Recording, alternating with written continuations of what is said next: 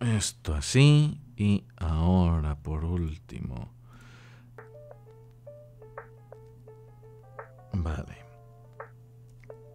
El Star Wars Lo-Fi Hip Hop está a dos puntos puesto. Vale. Vaya nombrecito. Es que. Lo estuve escuchando. El personaje era Soka. Eh, lo estuve buscando y el personaje es Ahsoka. no es roja y naranja, pero sí. Lo estuve mirando.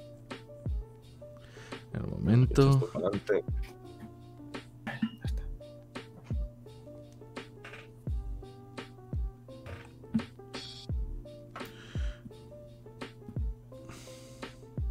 Y ya estamos. Sí. Hola. Espero que esta vez no se corte, por favor. bueno, si no, la última vez fue bastante rápido también. Sí, pero también por la pereza de...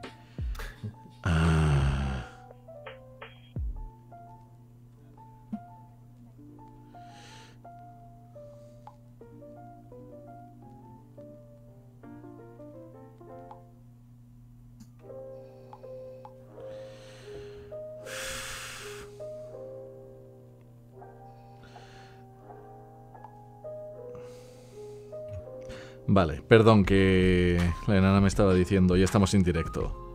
Lo digo por no decir nombres, que... Bueno, sí, lo sabes. Pero que me acaba de decir que... Que había un poco de chocolate en la mesa y Walt se lo ha relamido.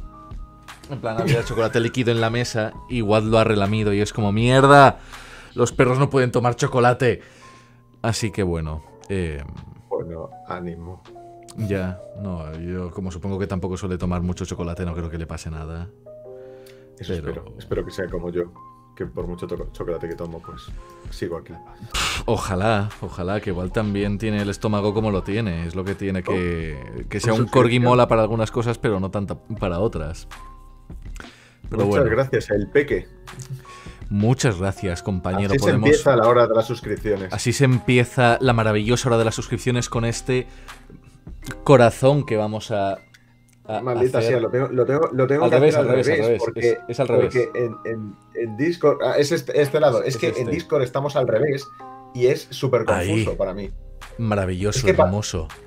para mí estoy haciendo el mismo gesto que tú y queda rarísimo. Lo es, pero eh, he ahí la magia de Internet. En efecto. Pero bueno, Oli a todos. Eh, first thing first, galletas. ¿Qué, respondes tú ante las galletas? Que me tienes que enviar galletas de alguna forma. Mm, no sé, tú me has dicho que. que ahora estabas intentando hacer dieta y todo eso, así que yo, pues. Aquí ahora mismo te estoy protegiendo. Te estoy protegiendo. Ah, vale, vale, vale, comprendo, comprendo. También no me has ofrecido un sistema de galletación, así que por ahora. Tú eres el que se encarga de las galletas. Yo, yo, pago galletas. Yo pago galletas. Tú debes procurar tu propio suministro de galletas. La madre que me parió. Buscaremos, buscaremos. Tampoco hemos tenido mucho tiempo, es cierto, ¿eh? pero. Pero habrá que mirar porque no tengo. Además, que no, quería. He llegado corriendo del curro y la verdad es que quería pasarme para comprar algo y al menos tener aquí para picar, pero he venido con el tiempo pegado al culo y ha sido llegar, conectarme y ya está. Yo también. Ha sido muy de un segundín. Ver. Hola a todos y feliz cumpleaños al cumpleañero que está por ahí. ¿Quién? ¿Quién es un.? ¡Uh! Manolo, el de las barbas. Manolo, el de las barbas 1, 2, 3. Un nombre maravilloso, hermoso, bello. Sí, agradezco esos nombres, es fácil pronunciarlo. Sí, Jesús bendito con, con, la, con los ads. A ver, ahí estamos. Pero quítate, quítate, saltar anuncios. Ahí estamos. Vale. Eh, ¿Qué está pasando aquí? Vale. Ahora estamos. Mi ordenador está haciendo muchas cosas raras. Bien. Ya estamos, ya estamos.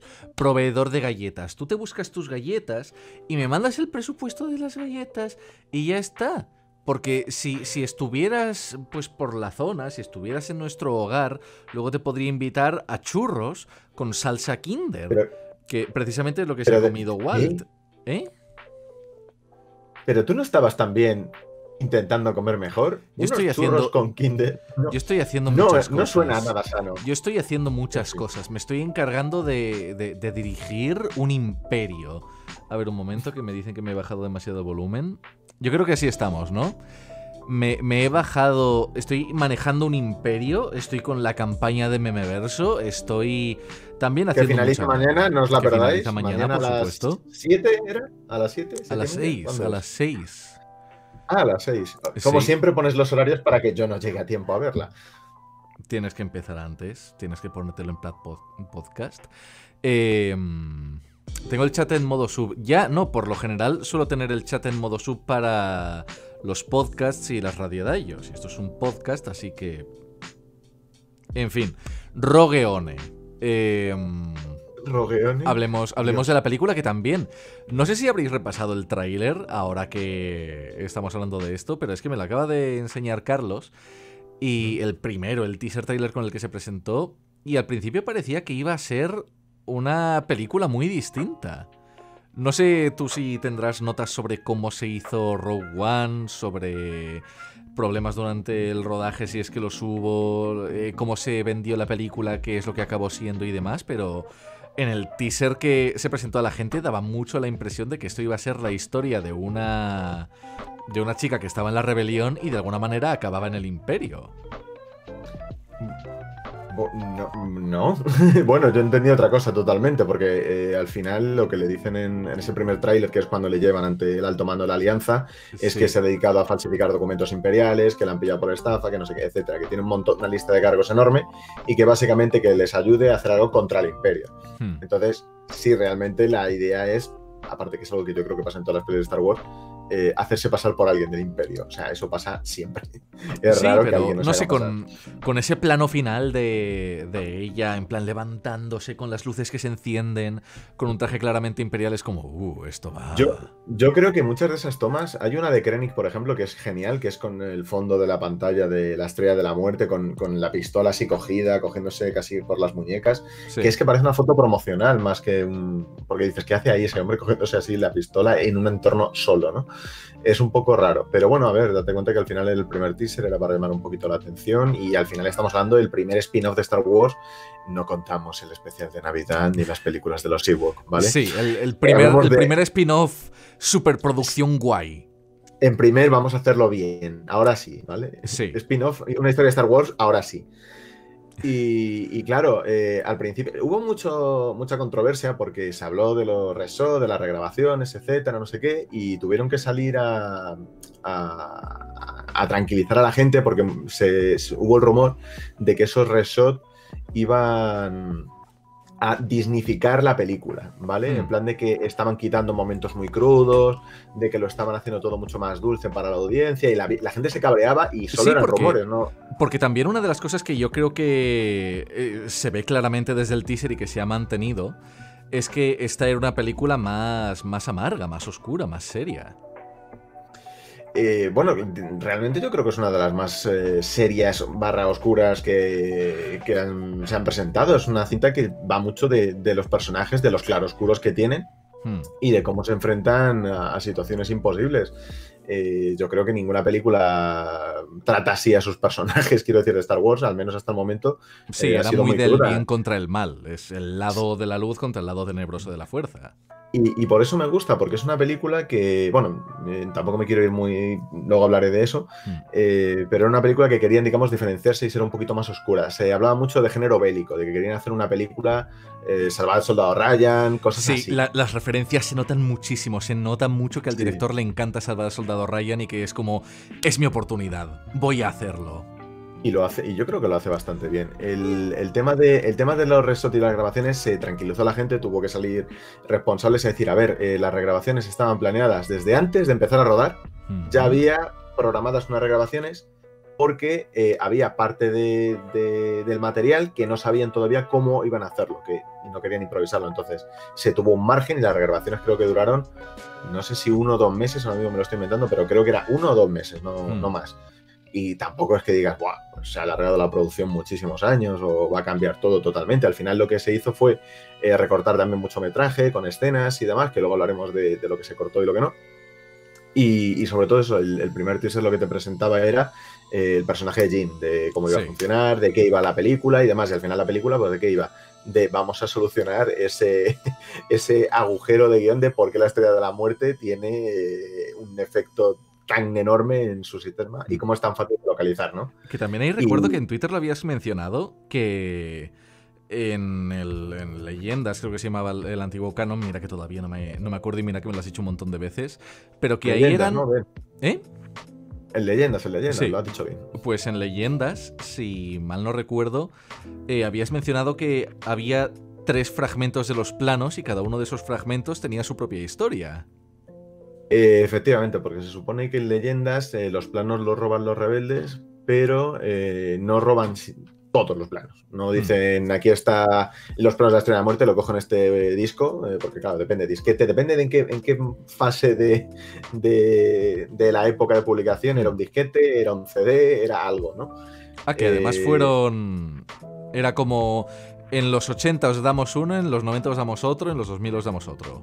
Eh, ahora mismo no recuerdo las fechas, por ejemplo, pero yo sé que eh, en la trilogía de Han Solo, curiosamente, una de las historias secundarias es un personaje, no voy a desvelarlo por si, porque como recomendé en el anterior podcast, es una trilogía que recomiendo muchísimo leer.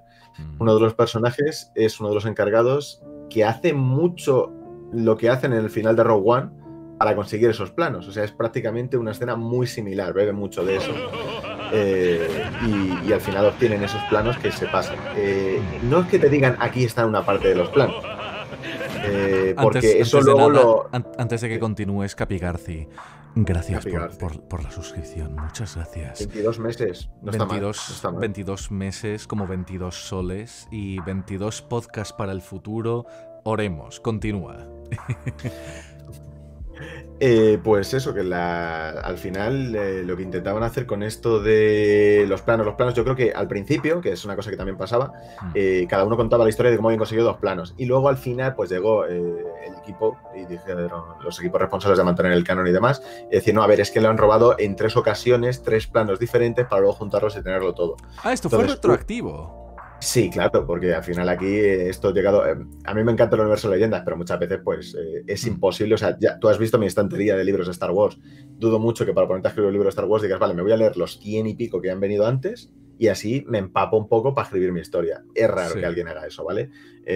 los, no tienen tanto tiempo los escritores. No lo tengo ni yo y, no tengo que escribir nada. entonces, mm, uno lo conseguían en el en el Dark Forces, que era un juego, un shooter en primera persona que salió en ah, El que era como un Doom, no. Sí, sí, sí, sí, es el, que era un Doom, sí. Que manejabas a Kyle Katarn, eh, que después era el prota de los Jedi Knight Academy y demás. De los eh, Jedi, Academy, sí. El Jedi Knight mm. Academy era el otro. Y, ahí conseguía los planos, eh, creo que era además en la primera o la segunda misión ya los tenía. Y luego mm. hacía más cosas. O sea, tú fíjate, en plan, la primera misión para mí es conseguir los planos de de Muerte. Soy así de chulo. No es ni la misión final, es la primera. Luego tenías eh, el de la trilogía esta de, Han Solo, eh, que es el tercer libro, te explican cómo los consiguen. Y luego tenías un juego de, de Nintendo DS, creo que era, que se llamaba Lethal Alliance, eh, que era de una que es un droide, que les encargaban robar los planos. Si no recuerdo mal, era algo así. Yo no llegué a jugarlo, lo he leído por ahí, porque siempre que busco información de cómo fue esto en las leyendas, me lo decían así. Pero sí, sí, era un juego de, de DS súper simple y ahí también conseguía los planos. Yo creo que todo el mundo ha conseguido un, pedacito de los planos. Esto es como lo de los cereales. En cada, en cada caja tienes un trocito de los planos. Júntalas todas. A ver, estoy buscando. Hay, un montón de juegos. ¡Ah! Pues sí. Pues sí, A, ver, a ver si se ve desde aquí. ¿Sí? Sí, sí, ese es el Lethal Alliance. Míralo. Madre mía. Efectivamente. Y entonces, con todo, en el universo leyendas, todas esas historias confluían en que pues, los rebeldes finalmente obtenían los planos y demás. Eh, por cierto, hay mucha gente que me pregunta, oye, la historia de los Bozan, eh, ¿dónde la cuentan? De cómo, lo de muchos Bozan han muerto por eh, encontrar esta información, la de la estrella de la muerte, ¿vale? Esa es la, estrella de la muerte 2, ¿vale? Entonces, canónicamente hablando, todavía no se sabe eso. En el mm. universo leyenda sí, sí se cuenta la historia de esos Bozan que mueren. Mueren para conseguir esa información y cómo mueren y demás. Eh, está contada también. Sí, esto es Star Wars. Insisto, cada tío que veis en el fondo de un plano tiene su historia contada y relatada en algún sitio. Es, así de fácil. No, sí, el de la heladera ya lo contarás con, con Mandalorian. Que me parece que la- increíble eso. Es que a mí la, la heladera de, de Star Wars es un clásico. Hay una carrera anual de, de gente corriendo con una heladera en, en la Star Wars Celebration. Eso es, mm, es magia. La, comunidad de, de los detalles. Y joder, eh, recuerdo que había un, un libro sobre insectos de Star Wars. Que la gente se vuelve Eh, muy sí. loca. Sí, lo puse el otro día, que lo, lo tuiteé, que era un libro, no, no de insectos de Star Wars, sino insectos que alguien había recreado como si Mm. tuvieran algo que ver con Star Wars. Mm. Bueno, hay un libro de Atlas y de, y de vida, vida silvestre, por así decirlo, de animales que salen en Star Wars, con sus movidas, con sus alimentaciones, los planetas donde viven, pesos, alturas. Hay de todo, de verdad, podéis encontrar de todo. O sea, aquí, No, no, no sé. Yo tenía un par de atlas de, de los de las precuelas. Que también, mira, ahora ya entrando un poco más en materia, que dice Antonio, a mí no me quedó claro lo del ciego. Parecía que tenía la fuerza, pero no lo, no lo explicaban demasiado. Ya entrando Vale. en la película, eh, algo que me mola de esta película, que lo desarrollará más adelante Mandalorian, es que esta, es- esta película me da la sensación de que Star Wars era el Señor de los Anillos y esto es ver no el gran viaje de Frodo, de batallas enormes, ejércitos, sino al- una historia a mucha menor escala, donde la fuerza es algo extraño y distante, y un solo Stormtrooper es como, a ver, cuidadín. No queremos liarla con la, con la policía, que es eso mucho más barrio bajero. Y precisamente me mola lo del ciego, porque con Luke Skywalker, con Rey y demás, y todos los Jedi, la fuerza es algo demasiado obvio. Es como la fuerza, sí, por supuesto, te hago así y ya está. Pero para esta gente la fuerza es como... ¿Qué es eso de la fuerza? Y llega el ciego y es como que no sabes del todo si es la fuerza o, o simplemente que tiene un compañero que le acompaña.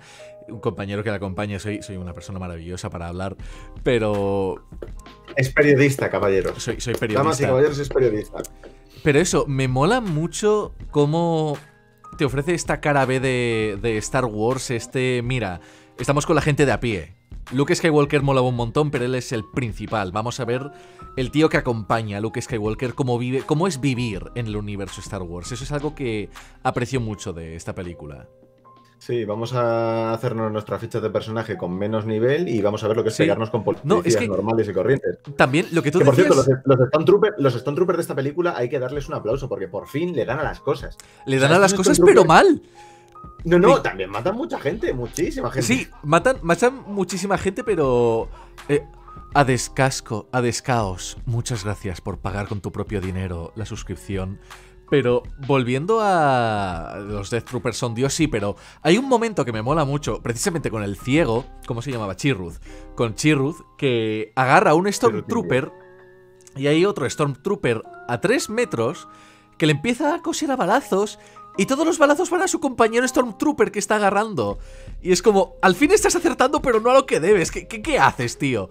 Eh, pero lo que tú estabas diciendo de hacerte las fichas de personaje de menor nivel, eh, con solo decías que es como una partida de rol, Rogue One a mí sí que me parece una partida de rol de Star Wars. Que es con sus pequeñas misiones, chungo. misiones secundarias, te llevan de un sitio a otro muy de explorar a los personajes, las tonterías con las que se van encontrando. Y, y tardan, tardan mucho en hacerse el equipo completo y que les Mm. cojas un poquito de cariño. Es, es cierto que los personajes para mí no tienen eh, tan, tanta personalidad y demás, pero al menos sí se molestan en darles sus pequeñas escenas para que brillen, para que puedan hacer cosas, aunque no te da casi tiempo a Mm. explorar nada. Porque, por ejemplo, Body, eh, casi la mitad de las veces que sale no está con el equipo, está por su cuenta, con una capucha en la cara o siendo eh, violentado por un pulpo a los hentai. Y esa escena es muy perturbadora. Es muy perturbadora, pero mola porque es como, hey, esto Eso no es el también, Rancor, es otra cosa por de Star Wars. Por cierto, ese bicho, eh, rollo telequinesis y tal, también tiene un poco que ver con, con la fuerza, ¿vale? O sea, Oh. eh, al final es lectura mental, si os dais cuenta. Eh, si os dais cuenta es lo que hace Kylo Ren, pero sin rollo pulpo, aunque a Rey le gustaría. Pero bueno, ya me entendéis. Mientras tanto, lo que, me, lo que nos gusta es que gente como Xavirulo, gracias por la suscripción. Gracias. Em, gracias por la hora de la suscripción. gracias por la hora de las suscripciones, Eh, amén. Pero... El, eh, no sí, sé, de que es una partida de rol que van Sí. haciendo misiones y van haciendo. La verdad es que en esta película no paran de moverse, pero bien. Me explico. En esta película visitamos muchos planetas. Para mí, para mí, cállate un momento, me dejas hablar. Eh, para mí eh, se mueven mucho porque primero tienes la escena del inicio con un planeta que, por cierto, también te digo, nivel de producción, mm, de verdad, lo hacen, lo clavan, porque esas playas son naturales, pero es verdad que parece otro planeta. Sí. No, no, no. Esas playas que ven ahí. Con esta película. Naturales, existen de verdad. Son maravillosas y son preciosas. Con esta película, con Solo y con Mandalorian, algo que me está quedando muy claro es que Disney quiere que todo lo que sea Star Wars tiene un nivel de producción de la hostia. De que no se le vean las grietas. Los efectos especiales son la polla, el nivel de producción es la polla. Hay muchísimo prop real. todo está grabado en, en localizaciones naturales. Es como que que también está pasando con muchas series últimamente, pero con Star Wars parece que Disney se gasta el dinero que haga falta para que la, la marca Star Wars sea este prestigio superproducción. A ver, a nivel visual es espectacular, ¿vale? Incluso, fijaos, mi opinión del episodio 9 la conoce ya todo el mundo, ¿vale? Pero me refiero a nivel de producción, es, es una pasada lo pueden hacer mejor en otras cosas, pero a nivel de producción es una pasada. Sí. Y, aquí, por ejemplo, pues saltamos de planeta en planeta. Tenemos el, eh, pues eso, el planeta este inicial, que ahora mismo, sinceramente, no me acuerdo de cómo se llama. Tenemos el anillo donde aparece el personaje de Cassian. Tenemos mm. el planeta donde está Jean haciendo trabajos forzados. Tenemos Yavin 4, el planeta de Alianza Rebelde. Tenemos Jeddah, donde se desarrolla el tema de los partisanos de Sao Herrera. Tenemos Eadu, donde está el padre de Jean trabajando en los planos. Tenemos Scarif, que es donde es la batalla final. O sea, tenemos mogollón de planetas bastante diferenciados entre sí. Bastante diferenciados entre sí. Sí, pero. Pero. A mí, precisamente, que sí, que visitas un montón de planetas, pero por ejemplo, al principio. Algo que me pasa, porque yo soy un normie, y espero que haya mucha gente que coincide conmigo, pero los nombres de Star Wars son raros. Me los tienes que repetir muchas veces para que me quede con ellos, y me tienes que dar pocos, porque si no me suenan a nuevos Pokémon. Y, y entonces, claro, al principio me di cuenta de que como en media hora han pasado por cuatro planetas y es una de espera. Estábamos en este planeta, pero ahora estamos en este otro y ahora estamos en este y nos vamos a este, pero volvemos a este. Que además cada uno es como con una estética. Sí. Es la primera película que te pone eh, en planitos el planeta en el que van, en el que están.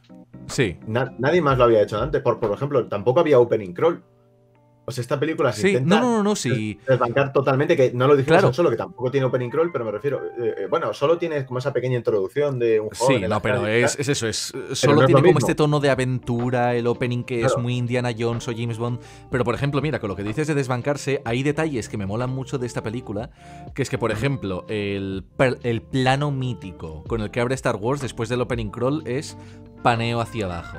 Pues aquí empieza, es decir, paneo desde el espacio hasta un planeta, y aquí empieza con un planeta, paneo hacia arriba, hacia el espacio. Y que por ejemplo es el principio que ya te están diciendo, oye, que esto no es lo de siempre. Y frases míticas de Star Wars, eh, localicé dos, que era, mm, hay un momento en el que tienen como cinco oportunidades para decir Never tell me the odds y no lo dicen, que es como que dicen cualquier frase menos Never tell me the odds. Y hay otro momento cuando están a punto de subir al ascensor en el que K2 va a decir I have a bad feeling about this, pero le cortan en plan de ¿pero qué coño estás diciendo? Y, me mola, me molan esos toquecitos, me molan. Sí. Está muy chulo, yo te digo que yo creo, además que se nota el cariño, o sea, insisto, eh, se nota mucho el cariño que le ponen en, lo que hay detrás. Hay mogollón también de, como pasaba con solo, hay mogollón de detalles, por ejemplo, eh, que Jean se choque en Jeddah antes, antes de nada, antes de nada, me gusta porque un tal Rolo creo que piensa que te llamas Rodrigo, por C. Rodríguez. Ah, no, me llamo Carlos. Sí, sí, se llama Carlos. Bienvenido un tal Rolo. Soy el malo del meme, soy el malo del meme verso, pero de otro tipo. Soy otro tipo de malo. Sí, es, el que inspiró a Dayo Malo. Pero bueno, eh, eh, este es Carlos, encantado de conocerlo, enchanté. Eh, pero bueno, perdón por interrumpirte. Nada, nada. que digo que me, hace mucha gracia ese tipo de detalles porque, por ejemplo, cuando están en Jeddah, Jean y, y, y Cassian se chocan con los dos tíos a los que Obi-Wan se va a rebanarles el brazo en la cantina. Y me hace muchísima gracia, porque son cosas como, ¡eh! Eres tú. Es una gilipollez enorme. Pero, es, es fanservice bonito. Es fanservice bonito. Luego me enseñas. Sí, pero luego me enseñas a R2D2 y a C3PO diciendo, oh, ahí se van, nunca cuentan con nosotros. Y ahí ya, pues mírame. Ahí me toca un poco los cojones. Es que ese no es el detalle bueno, porque precisamente esa escena es una chorrada porque dices, qué forzado. Sí. Pero, por ejemplo, ¿sabes lo que mola? que justo antes de esa escena Hmm. has visto al droide Chopper de la serie de Rebels pasando al lado. Ese es el que También. dices, ¡Eh! Sí, Por pero ejemplo, Es eso, son, son como cosas más, más sutiles, no tan obvias. Es como que lo tienes cosas- que pillar, tienes que acordarte. No, pero por ejemplo, eh, ves al droide, ves la nave de Rebels, también la ves aparcada al lado de donde aparcan ellos la lanzadera. Hmm. Eh, oyes por la megafonía general Sindula, Kula, por favor, no sé qué. Sin- Sindula, eh, es Hera Sindula, que es una de las protagonistas de Rebels, aquí convertida en general. Que aquí es cuando por, pri- por primera vez oyes que se han convertido en general. O sea que no, ha no le ha pasado nada desde que acaba Rebels aquí, o sea que ha ido eh, evolucionando y que de hecho luego sale en Star Wars Squadron ahora y ya la han puesto en, en el propio videojuego Oh. que es una para las que trabajas con el mando. Sí, sí, además mola mucho por eso, porque la, la continuidad que tiene, de voy a coger detallitos de aquí, voy a coger detallitos de allá, y junto te, te, te muestra un montón de cosas. Eh, por ejemplo, So Guerrera, tú no lo sabes porque eres un mierda si no te has visto de Clone Wars, pero So Guerrera es el primer personaje de Star Wars que ha pasado de una serie de animación Hmm. al live action. Y aparecía también en Solo, ¿no? Que lo habías dicho. No, solo no aparece. ¿En Mandalorian? Aparecía en otra parte. Mm, En The Clone Wars. Ah, aparece en la quinta tem- aparece en la quinta temporada de Clone Wars y conoce su historia y conoce sus motivaciones también también aparece en Rebels pero Mm. no- tampoco te has visto Rebels vale Rebels es más parecido a, a cómo es ahora digamos porque claro en The Clone Wars pues Mm. que tiene 20 años menos pues es normal y ves sus motivaciones ves todas las eh, las movidas que le ha pasado, lo que le ha llevado a ser así. Y, por ejemplo, una de las cosas que llama la atención en su diseño de personaje es que a este tío, el que le enseñó Guerra de Guerrillas fue Anakin Skywalker, que es Darth Vader. Y si ves en lo que ha acabado convertido, con problemas de respiración, con partes protésicas, hecho mierda, pero siendo un tío cruel de cojones, dices, hombre, veo cierta similitud entre quien le ha entrenado y en lo que se ha convertido. Porque claro, él tampoco sabe quién es Anakin Skywalker ahora mismo, pero este tío le ha Hmm. entrenado él. Le ha curioso, enseñado... de- curioso. Claro, claro, Sí. por eso. Son, son detalles que, por desgracia, se pierden para el espectador, digamos, regular, el medio. Pero son detalles que yo agradezco. Antes de nada, Fiti67.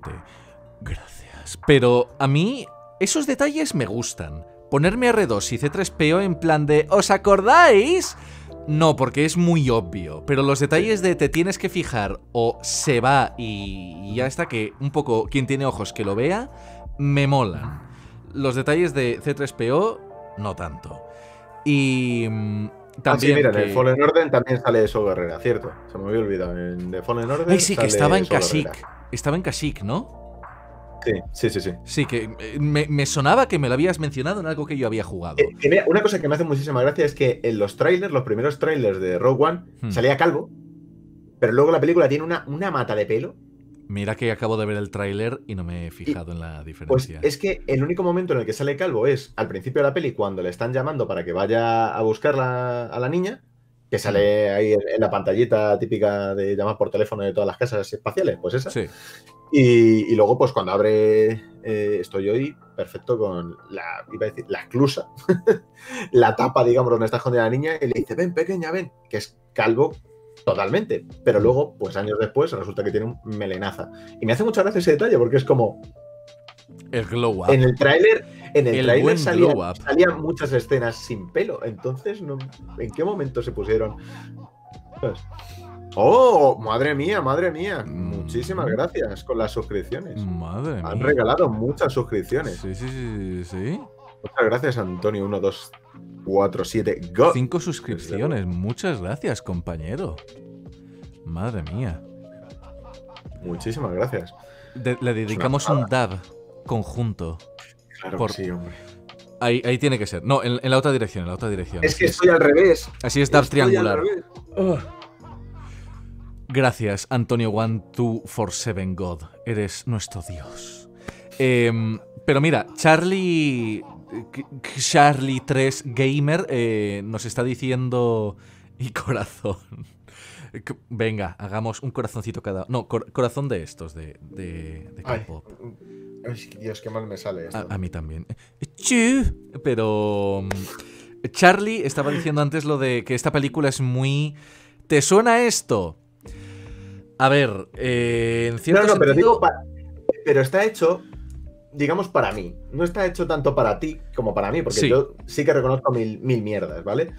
pero es cierto que para ti la referencia fácil es la de mira, eh, sale C3PO y R2. Claro, es "Mira, que estamos aquí". por eso, por eso digo que se me parecen buenas referencias. Porque es como, oye. Star Wars es un universo Pues mira, conectado. por ejemplo, hay, hay un detalle, por ejemplo, de, hablando de referencias que me parece una chorrada máxima, y Sí. es que cuando sale Bail Organa, eh, cuando están interrogando a, a Jim Herso, Sí. sale, no dice absolutamente nada, solo aparece en plan de, Estoy supervisando. soy yo, soy el del episodio 3, soy yo, ¿vale? Confirmado y le ponen, queda. Y le, ponen, y le ponen la música del tema de la fuerza. ¿Que ¿Qué tendrá que ver Sí. Bail Organa o esa escena en concreto con el tema de la fuerza.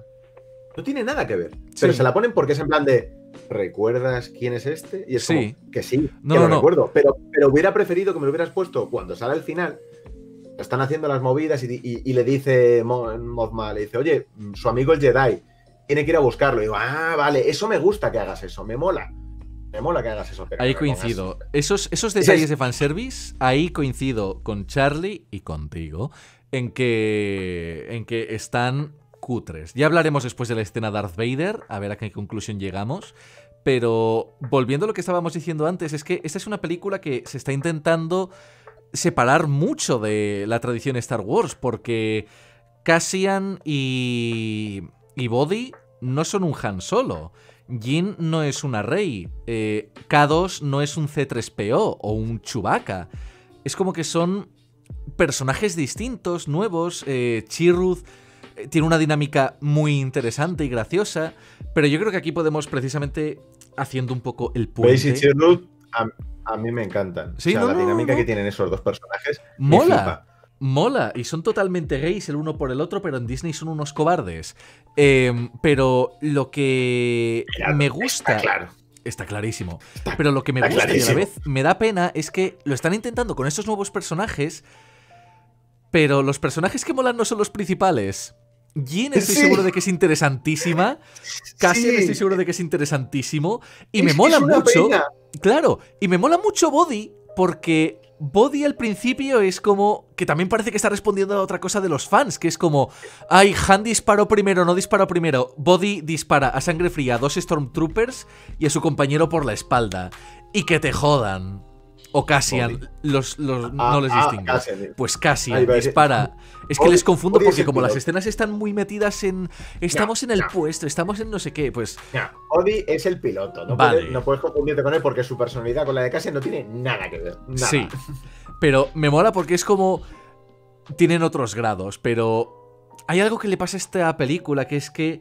Ojalá hubiera salido cinco años después en formato serie. Porque estos personajes creo que. Jin, los conflictos que tiene en su interior, Cassian, los conflictos que tiene. merecen ser explorados en una serie. Porque K2 me funciona de puta madre. Chirrut me funciona de puta Es- madre. Es que va a ser explorado en una serie. Es la serie de Cassian Andor. Pues mira. Veamos. Veamos qué ocurre.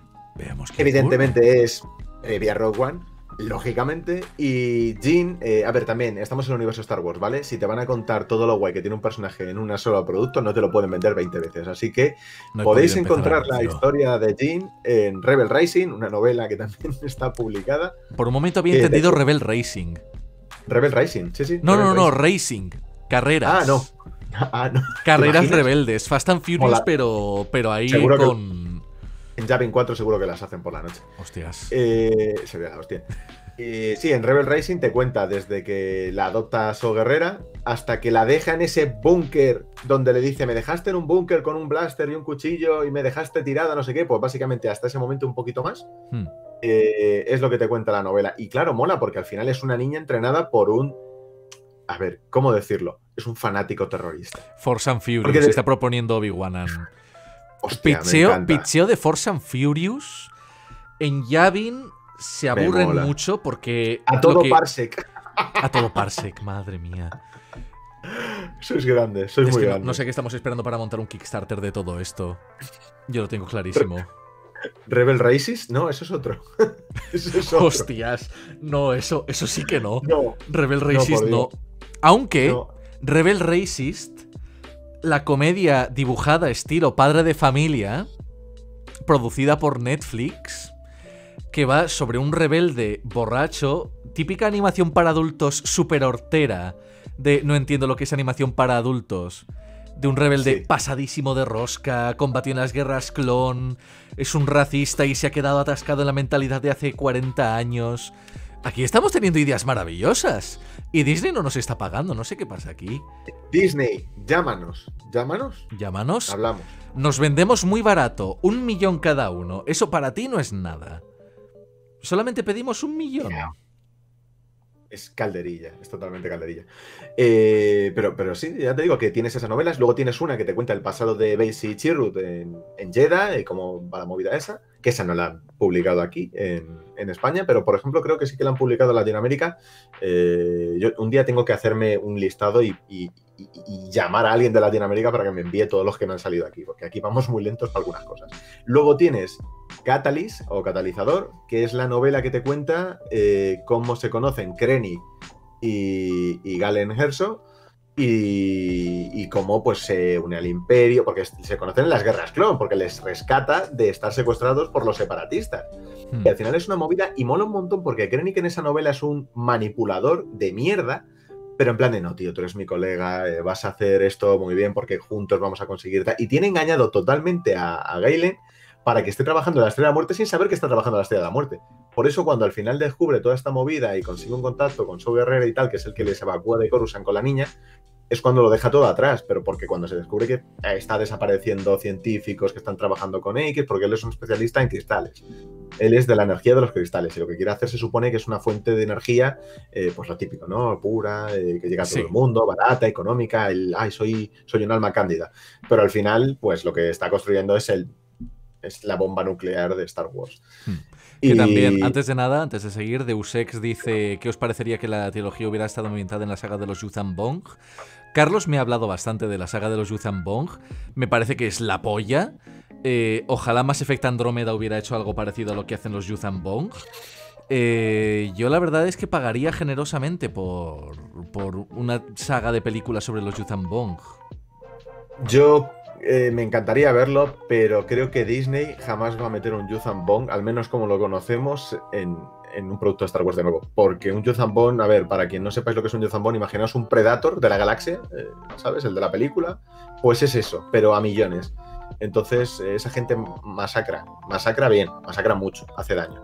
Y pues lo mismo te meten a 100.000 personas en un transporte o en varios transportes y los lanzan a un solo en sacrificio a sus dioses que te revientan a hostias a un Jedi. Eh, es que hacen de todo. La verdad es que, para que os hagáis una idea, la saga de los Yuzhan Bong son veintipico libros, son, creo que son 25 libros. Es la saga más grande de Star Wars eh, y cuenta una guerra en las galaxias. Que Eh, era, primera era vez- donde le tiraban a Chewbacca un planeta encima, ¿no? Una luna, concretamente una, luna. Una luna. Adem- Además en el primer libro, no se cortan. En, esa, en esa saga de, de libros, palma muchísima gente. Pero muchísima. Palma mucha gente conocida, mucha gente con nombre, de todo. Palma mucha gente. Es muy guay. Muy guay.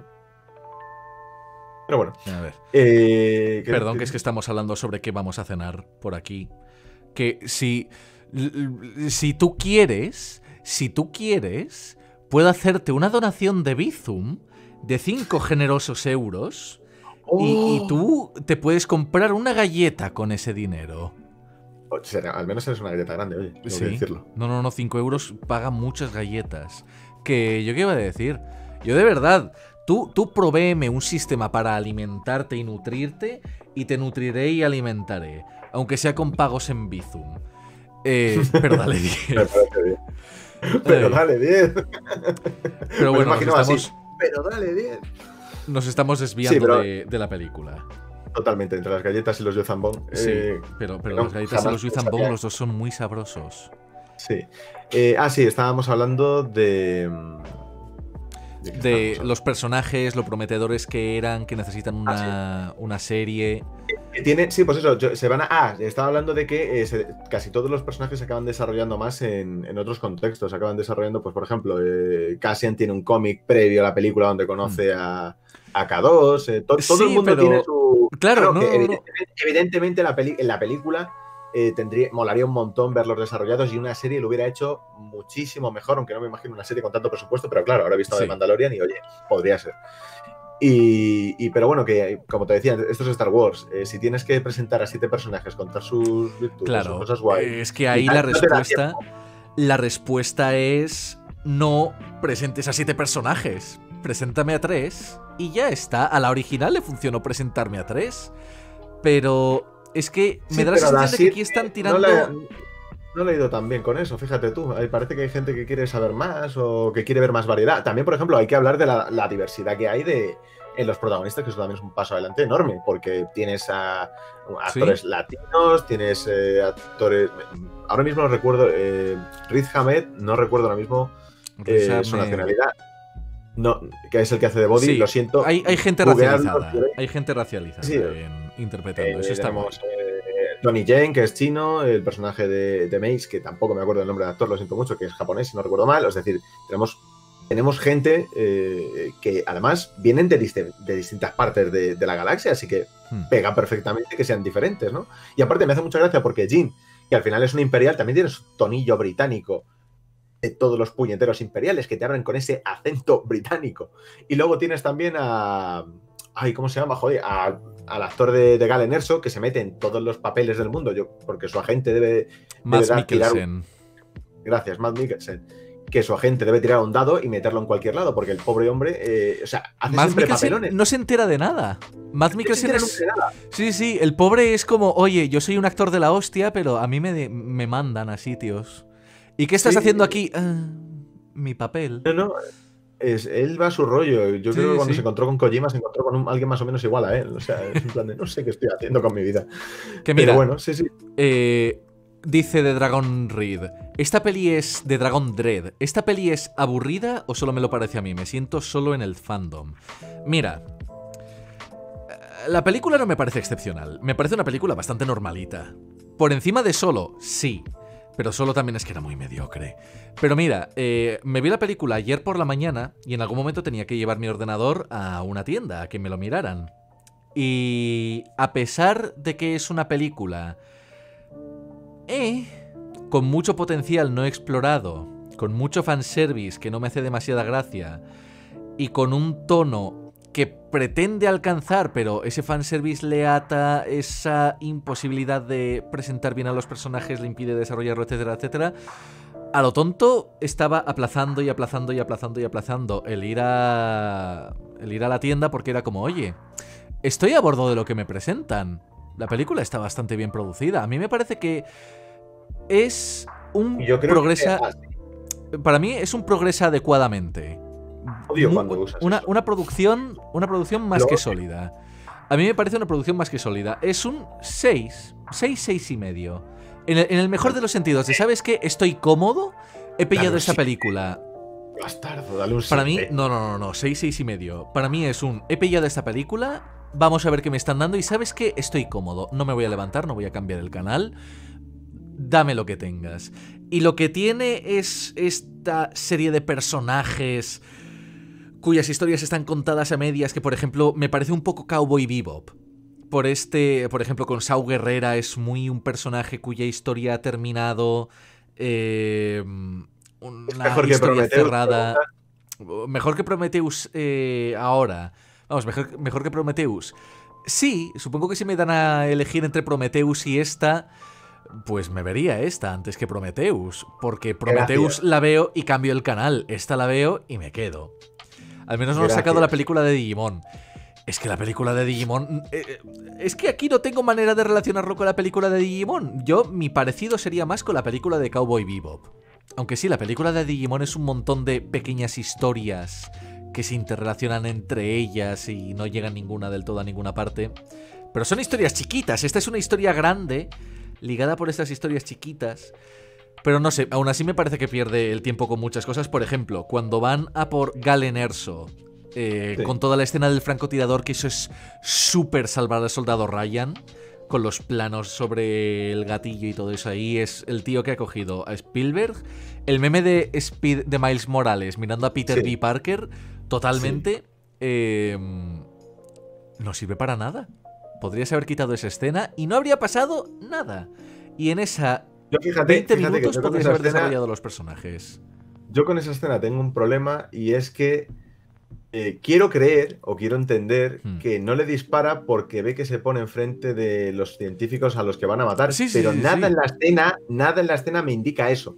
Es decir, no hay un juego de planos del tío haciendo así, en plan de, oh, he cambiado de opinión ni nada, sino que parece que simplemente es en plan de, no lo voy a hacer. A mí Y no que... tiene motivo ni razón alguna por no pegarle un tiro Hmm. a ese sujeto. No tiene ninguna razón por no hacerlo. Y es una cosa que me molesta, porque es en plan de, pero vamos a ver, si me pone esa escena, esa misma escena, me haces un juego de planos diferente, yo puedo entender que Galen se salva al ponerse delante de los científicos y Hmm. entonces el otro dice, ah, vale, es buena gente, fíjate cómo está intentando sacrificarse. Pero es que la sensación que me da aquí es, lo voy a hacer, lo voy a hacer, mm, venga, al final no.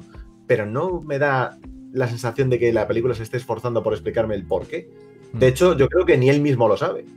Que mira, a lo mejor saca algo de la Goofy película siendo Dayo, pues no iba a hacerlo, pero voy a hacerlo, me cago en mi puta vida. ¿Sabéis qué es lo que pasa en la Goofy película que no le pasa a esta película? Y el motivo por el cual la gente dice que es todo tan olvidable, tan pasable, tan... Eh, porque me acuerdo de los personajes, pero no recuerdo nada concreto que pasa ahí, salvo que está Galen Erso. Me acuerdo de Galen Erso porque me frustra. No, Galen Erso no. Sau Guerrera. Me acuerdo de Sau Guerrera porque me frustra. Es como que durante los primeros. Durante la primera media hora te van construyendo a Sau Guerrera como, guau, cuidado con este tío. Se va a prender la wea, tal. Llega Galen Erso, dicen cinco frases y hace un. Iros, igual que igual que en el hombre de acero. Exacto, el, el padre de Superman que es un.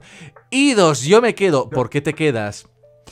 Porque la gente tiene que morir, hay demasiados vivos, yo puedo ser un muerto, he tenido más tiempo que Sí. todos vosotros juntos, he tenido demasiado desarrollo en esta película, me voy. Pero del resto de la película es como que no me queda. No me quedo con nada, pero con la Goofy película. Con la Goofy película. Me quedo con lo que ocurre Con la película. me quedo con lo que ocurre. ¿Sabes por qué? Porque cada escena tiene algo característico. Está la escena en la que me acuerdo de la cama de la cama de agua. Toda la vida me he acordado de la cama de agua. Me acuerdo de la escena de la autopista. Toda la vida me he acordado de la escena de la autopista cuando tienen que escoger una dirección u otra. Me acuerdo de, del culo enorme de Pete. Me acuerdo del concierto porque es súper icónico el estilo Michael Jackson conoce a Prince con la con el humo. Me acuerdo de un montón de cosas que pasan en la película porque hay algo hipercaracterístico. Sin embargo, Vader. Darth Vader, claro, es el final. Ya hablaremos de la escena de, Darth Vader. Pero todo lo demás que pasa en la Pero ¿te película es como... Todo el mundo se acuerda. Claro, porque hay algo que es ¿Alguna como... vez- ¿alguna vez, ¿Alguna vez has visto una película que te deje el listón más arriba? Ya hablaremos... Porque ya- la- las películas, el final se suele desinflar muchísimo. Pero es que este final. Es que es como. Luego hablamos más, pero es que es tan así que dices, a la mierda todo. Esto, yo, yo conozco a gente que dice, mira, la película me ha aburrido, pero es que la última escena ya vale la pena todo. Ya hablaremos, ya, ya, ya, ya, ya, ya, ya llegaremos a esa escena. La cuestión es que la Goofy película, con sus personajes, el padre de la, de la niña esta, ¿Qué habéis de, la, de- de la novia de Max, como se llame, aparece tres segundos, pero ¿sabes qué? Cuando aparece es un tío enorme que se ve que te hace así y te estruja el cráneo. eh, se le ve súper rudo, con que te enseña los dientes y es como te voy, como sigas aquí cinco segundos más simplemente porque me molestas, voy a puto matarte. Pero en cuanto llega su hija, el tío es todo amor y es como, ¿sabes qué? Le entiendo. Y por eso me quedo con Chirruz. Porque Chirruz te aparece diciendo, soy uno con la fuerza, la fuerza está conmigo y es como, este tío es el pesado. Y... Y K2, ¿por qué me quedo con él? Porque K2 es un sarcástico y es mi puto padre y le quiero. Y por ejemplo, me quedo con la escena en la que K2 está en plan de, oye, yo estoy aquí, que no, no voy a hacer nada, pero ¿por qué no? Y coge una granada al aire y la tira a unos Stormtroopers que vienen detrás. Porque es algo memorable, es algo único, es algo que te habla del personaje. Pero el problema con Jin, el problema con tantos otros personajes de la película es como no, es que tienen conflictos internos, el grado de grises.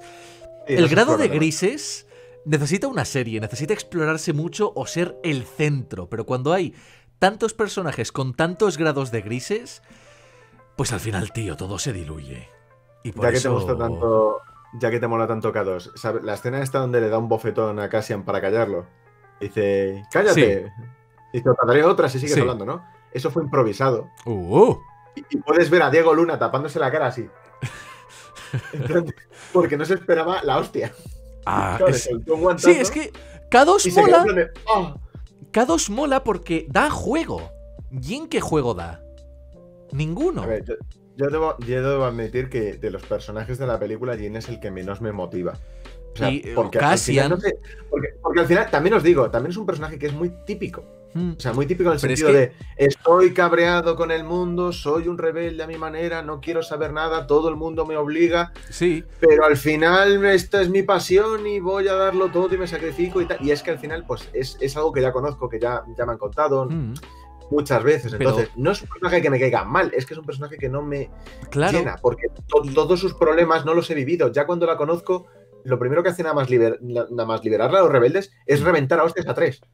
Que dices, ¿por qué? Pues why not. Pero es que pasa con todos, pasa con Galen, pasa con, con Sau, que Sau Guerrera te lo van poniendo como este tío y es como, no Obvio sabría que- yo poner a Sau en una situación que no es esta película. Sin embargo, yo me imagino perfectamente cómo sería K2 si le metes en la Goofy película. A K2 le metes a pedir un batido en un restaurante en medio de la carretera y sé perfectamente cómo reaccionaría. Pero el malo, el de estábamos así de cerca de alcanzar la gloria, me quedo con el meme, pero no tengo ni puta idea de quién es ese tío. ¿A mí qué me cuentas? Hombre, si te das cuenta, además, no parece casi tan militar, parece más un político, ¿verdad? Es como que tiene sus, sus tejemanejes con Tarkin, que Mm. además está todo el rato sintiendo que eh, eh, Senpai notes me, pero con el emperador, ¿verdad? Es como, necesito que esto sepa lo, lo guay que es mi trabajo, que me Sí. dé un like. Y, y no se lo dan, y me hace mucha gracia porque está toda la película intentando conseguir eh, reconocimiento por lo que ha hecho y al final le roban su trabajo. es como, jódete, tampoco me caes bien, pero qué putada, ¿no? Mm. Que, que hablando de eso, me, me gusta, eh, volviendo así un poquito, cómo nos presentan eh, el personaje de Cassian, porque nos lo presentan pegándole un tiro por la espalda Claro. a alguien que es de los buenos. Claro, es que es eso, es no marcar el tono, marcar el tono de este no es el This is not your Star your dad's Star Wars. Aquí Han solo dispara el primero y te remata pegándote un tiro en la cabeza para asegurarse. Eso mola. Eso mola. Claro, la cosa eh, es que eso- durante el resto de la película Cassian no está a la altura de lo que te han vendido. Es como cuidado con este tío.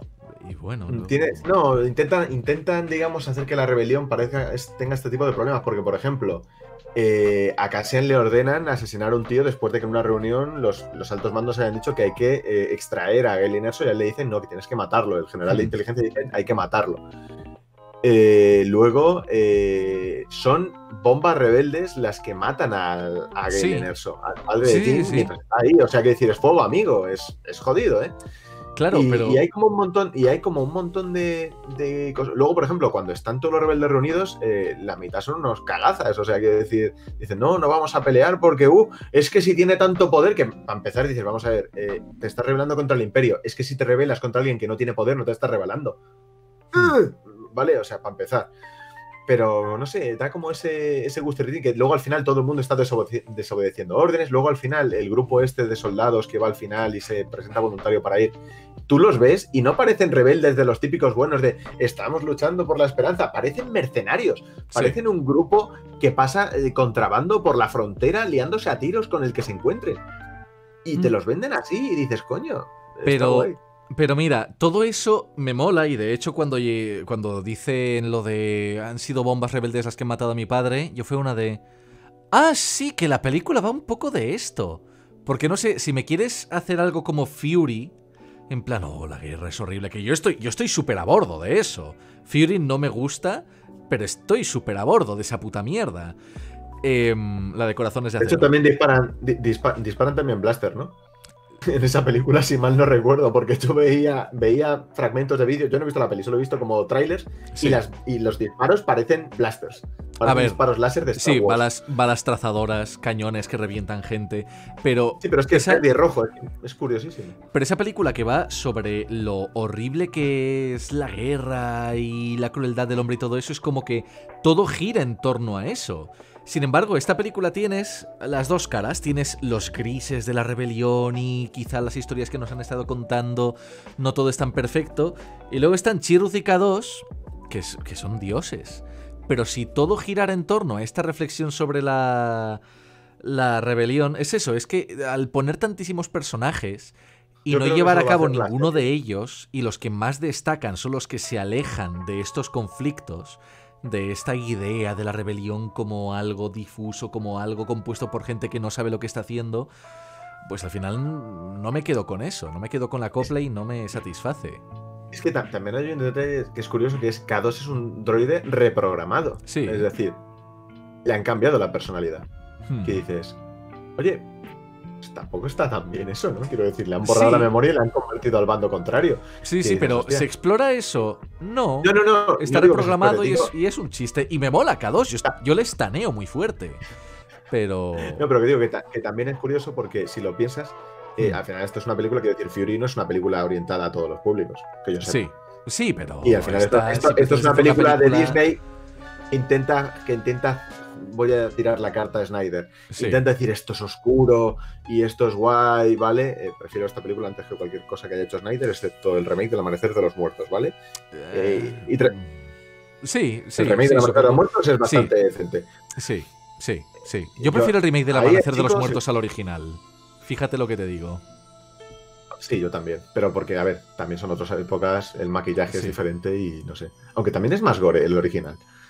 Eh, Para mí, en ciertas cosas es bastante más gore. Y, y bueno, pues eso, que quiere jugar con eso, pero también tiene que jugar con la carta de esto es Star Wars y esto también tiene que verlo los niños. Entonces yo creo que se Sí. queda ahí a medio camino. Y igual Claro. que pasa con The Mandalorian, que es una serie infantil, pero también es como seria, entre comillas.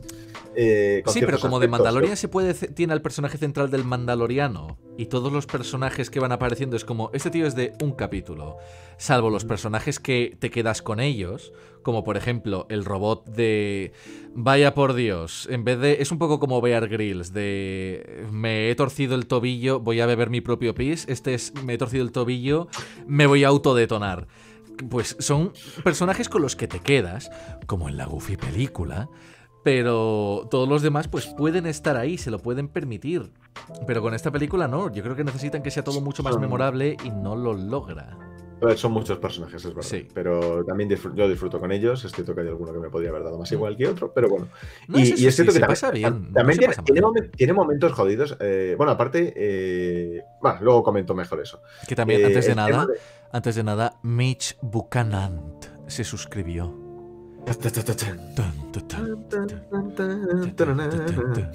Adelante. Madre mía, eh, eh, ya, ya tiene que tener unos años, ¿eh? Para ponerse Miss Buchanan, eh, tiene que ser clásico como nosotros. Eh, que digo que el tema de la fuerza me gusta mucho como está tratado en esta película. ¿Recordáis lo que decíamos? de, no me gusta que la fuerza parezca un superpoder todo el rato, de que mira, hago esto y tal. Esto es a lo que me refiero. Este tío no es un Jedi. Evidentemente es sensible a la fuerza, no a Mm. unos niveles brutales, pero es sensible a la fuerza. Eh, además, el hecho de que haya seres ciegos sensibles a la fuerza también está sacado de leyendas, ¿vale? Hay una raza entera que son gente que hace eso, ¿vale? Que son ciegos, de, de hecho van tapados así. No sé si este tío, como no me he podido leer la novela de sus orígenes y tal, no sé si se quedó ciego o es ciego de nacimiento. No, y además, pero no, me- no le hace falta. Y aparte, la escena de, mira, humor Star Wars, la escena de que le ponen un saco en la cabeza al ciego, Ah, sí, sí, sí. es, Es, que los, los puntos de humor que tiene la película molan mucho. el- Cuando quiere ser graciosa lo consigue. eh, no hay más hostiles. Le apunta. "Hay ¡Un hostil! hay un hostil". Que además es, es una escena súper memificable. Que recuerda el meme de eh, No Fear. sí, One Fear. O Es eso, es ta- que- hay, hay un meme hecho con Stormtroopers que era área segura, ocurre lo que sea, no es segura, no es segura.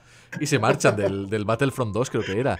Que también, Javisk, Javis. Merci, Javisk, Javisk. Em, pero algo que también me mola de Chirrut, aparte de lo que tú dices, que, que eso, la fuerza es esta cosa misteriosa, mola mucho, pero también me gusta de Chirrut que a través de él hay un poco de lore que te remite a cómo los Jedi eran este grupo extinto. Claro, el misticismo no solo de cómo es la fuerza, sino que los Jedi son este grupo extinto de caballeros que una vez fueron, igual que Chirrut pertenece a este grupo extinto de vigilantes del planeta que una vez fue. Y que ahora ya no cumple su función y es como este tío que vaga y deambula. de los- las estatuas. de Claro, los claro, claro. Es la referencia a, a los, eh, a los cristales Kyber y demás, que al final todo eso de los cristales, pues te lo- mira, lo habían contado en The Clone Wars, la serie 2D que tú sí te has visto. Hmm. ¿De acuerdo? Es cuando van a por los cristales y demás. Y, y luego tiene muchas referencias. Es cierto que aquí se ha dado mucha importancia al cristal y a lo que es el cristal y demás. Eh, yo, por ejemplo, el... hay una cosa que no me, que no me llama mucho la atención eh, de- del personaje de, fíjate, de la madre de Jean, que es que me hace muchísima gracia porque está en plan rollo fanática religiosa. Voy a decirlo así, que al final será simplemente religiosa, que es como de un grupo de afiliados a la fuerza. Porque le dice, no, confía en la fuerza. Y es como que una persona totalmente ajena al rollo de la fuerza, al Sí. principio de la peli, que le da el cristal y le dice, confía en la fuerza. Y es como. Eso, además, de- además fue una decisión de Guion un poco extravagante porque se supone que su personaje iba a ser una Jedi, pero eso hubiera supuesto que toda la película la gente hubiera pensado, entonces Jean es una Jedi, va a tener la fuerza. Claro. Entonces lo cortaron por lo sano, se quedó esa especie de religión de los Jedi son buenos, vamos a rezarle, pues como la gente que tiene una estampita de Obi-Wan en casa y le reza como si fuera Jesucristo. Que, que sean Sí, no, no, no. ¿eh? La, religión de Star Wars es una religión registrada. No, aparte sí, hay gente que se registra como Jedi en Estados Unidos. Y, y entonces, eh, me hace mucha gracia porque es en plan de, este es el plan que hemos preparado, te llevas a nuestra hija, la metes en, en el agujero este y os quedáis aquí hasta que llegue su rey y yo los distraigo. ¿Qué hacemos? ¿Dejo a la niña sola? No en el agujero, la dejo sola. Hmm. Yo me voy armada a enfrentarme a un grupo de Death Troopers y a este tío.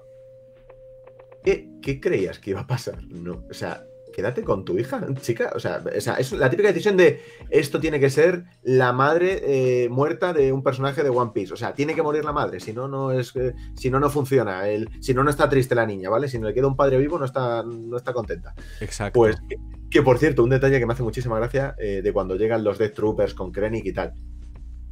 Krennic es la única granja que hay. ¿Para qué aparcas a 3 kilómetros? También. Es que me hace Supongo, mucha gracia. supongo que al, al Imperio debe tener un, un punto de dramatismo que les mola. Sí, es que además es en plan de, bueno, eh, nos desplegamos aquí enfrente de la casa. No, no, no, lejos, que nos vean llegar con mi capa y vosotros solo- va a quedar, Ahí va a quedar la hostia. mágico. Y le voy a decir la frase, ¿qué te parece la idea? Estábamos así de cerca. Buah, me parece de puta madre, señor. Si es que soy un genio. No, los Troopers Me gusta, me gusta pensar en eso.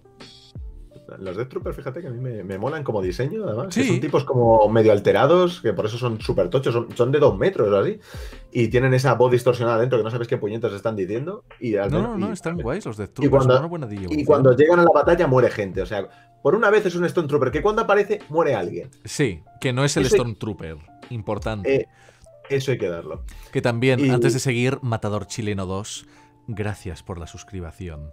Matador chileno. Me encantan los nombres de los suscriptores de hoy. ¿eh? Son, son bellos, todos ellos son bellos. me falta Aníbal Corleone. No Sí. sé dónde está Aníbal Corleone. Estamos Está contigo, allá donde estés, nuestros pensamientos están contigo.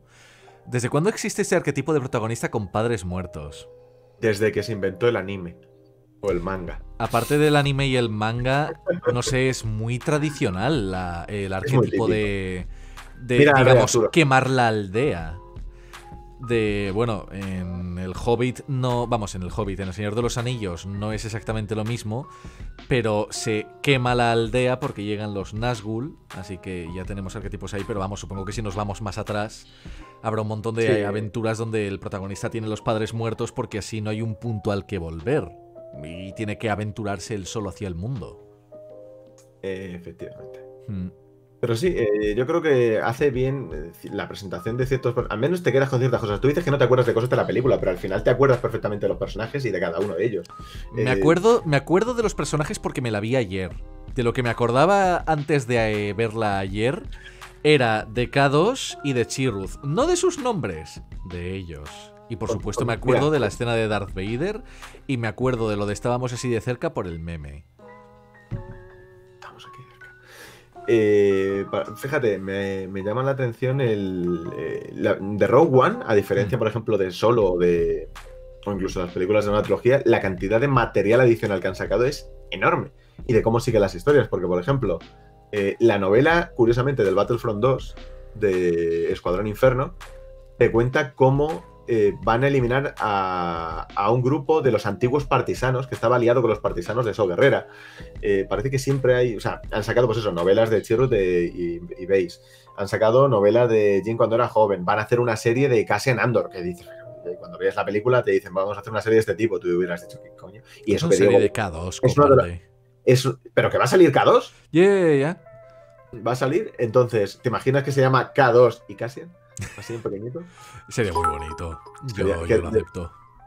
Y, y entonces me refiero que han sacado mucho material porque creo que la gente le ha pasado lo mismo que a ti, que dices, es que esto hay que explorarlo, es que aquí hay muchos temas y muchas cosillas que, que son interesantes y que deben explotarse, porque por ejemplo, eh, lo que ocurre con Dos Tubos, que Dos Tubos es el personaje este que, que habla en un idioma raro, que es el que le pone la capucha a Body y que va con Dos Tubos aquí. Salud.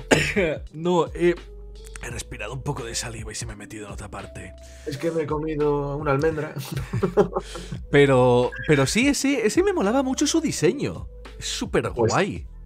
la historia de los partisanos y la historia de Jeddah, porque hay un después del ataque de la Estrella Muerte en Jeddah. Hmm. eh, eso, por ejemplo, se refleja en los cómics regulares de la serie de Star Wars, ¿vale? De cómo, o sea, este tío llega a conocer a Luke Skywalker y movidas, ¿vale? Eh, pasan muchas cosas. Eh, que además es un arco bastante interesante por, por una vez, porque la serie regular es bastante floja hasta que llega a la mitad, de la mitad para adelante es interesante, el resto es un poco mierda. Eh, pero es eso, que tiene, tiene como muchos personajes que pueden tener sus propias historias y, y yo que sé, por ejemplo, allí hasta, ¿tú te acuerdas del mayordomo de Jabal Hat? Este de la, el que era un Ah, sí, sí, sí, sí, que tenía, que tenía enrollado. Sí, sí, las, las colas estas Sí, cefálicas, ¿no? sí, sí.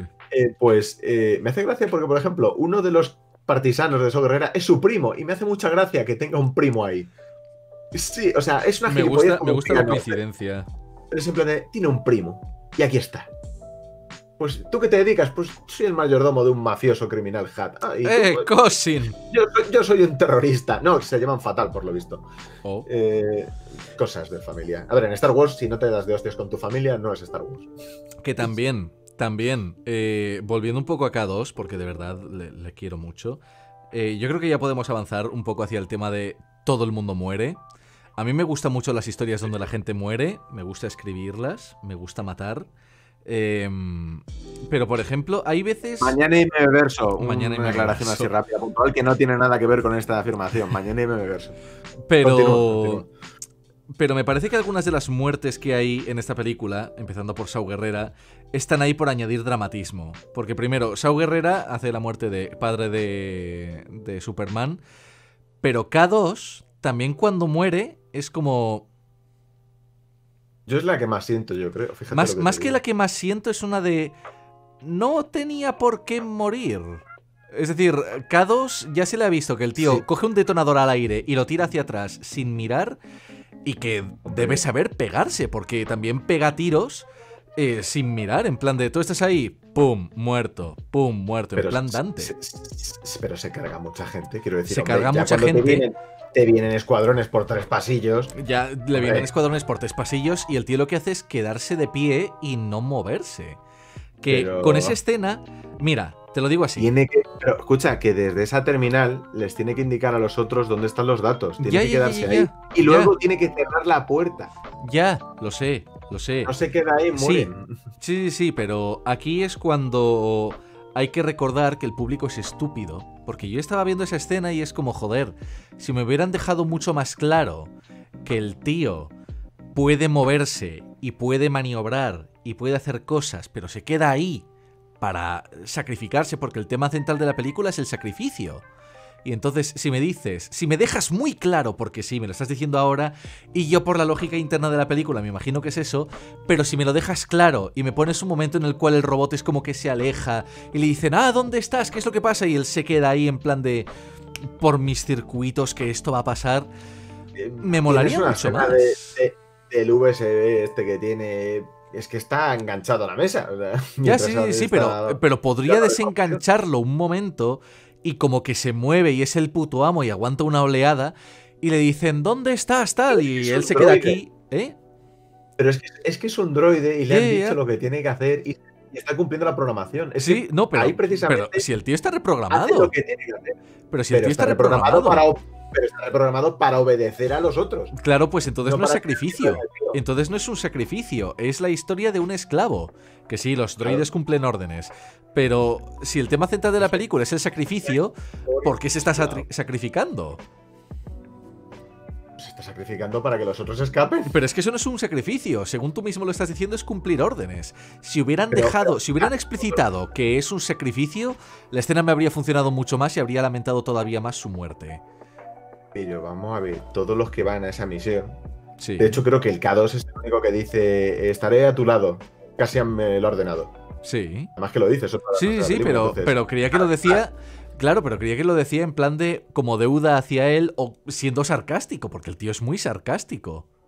Bueno, deuda poco puede tener porque fue el que le reprogramó. Entonces, Ya, ya, es, que, es que en el cómic de Cassian, eh, K2 intenta matarle durante un montón de rato. Quiero decir, hasta que consigue por fin frenarlo. Pero es. eh, o sea, existen droides con esa. Precisamente, mira, en Star Wars que siempre se han visto droides con, como con mucho libre albedrío. eh, este yo creo que es el que menos, porque hace las cosas a desgana. Hace las cosas diciéndote que no quiere hacerlas. Sí, en pero. plan de, no me gusta eso, eso no, no- no es correcto, eso tal. Entonces, eh, aquí, hombre, a mí me gusta por la escena, por cómo es, si te quieres poner a analizar, es, es como decir, no, es que mira, este soldado que se sacrifica para que sus compañeros, ese soldado está ahí porque alguien le ha mandado estar ahí. Sí. Se sacrifica después, Claro, pero eso hace que sienta menos la escena. Eso hace que sienta menos la escena. Es como si dices, ay, Boromir me cae bien, y de pronto Boromir está muerto, es como no.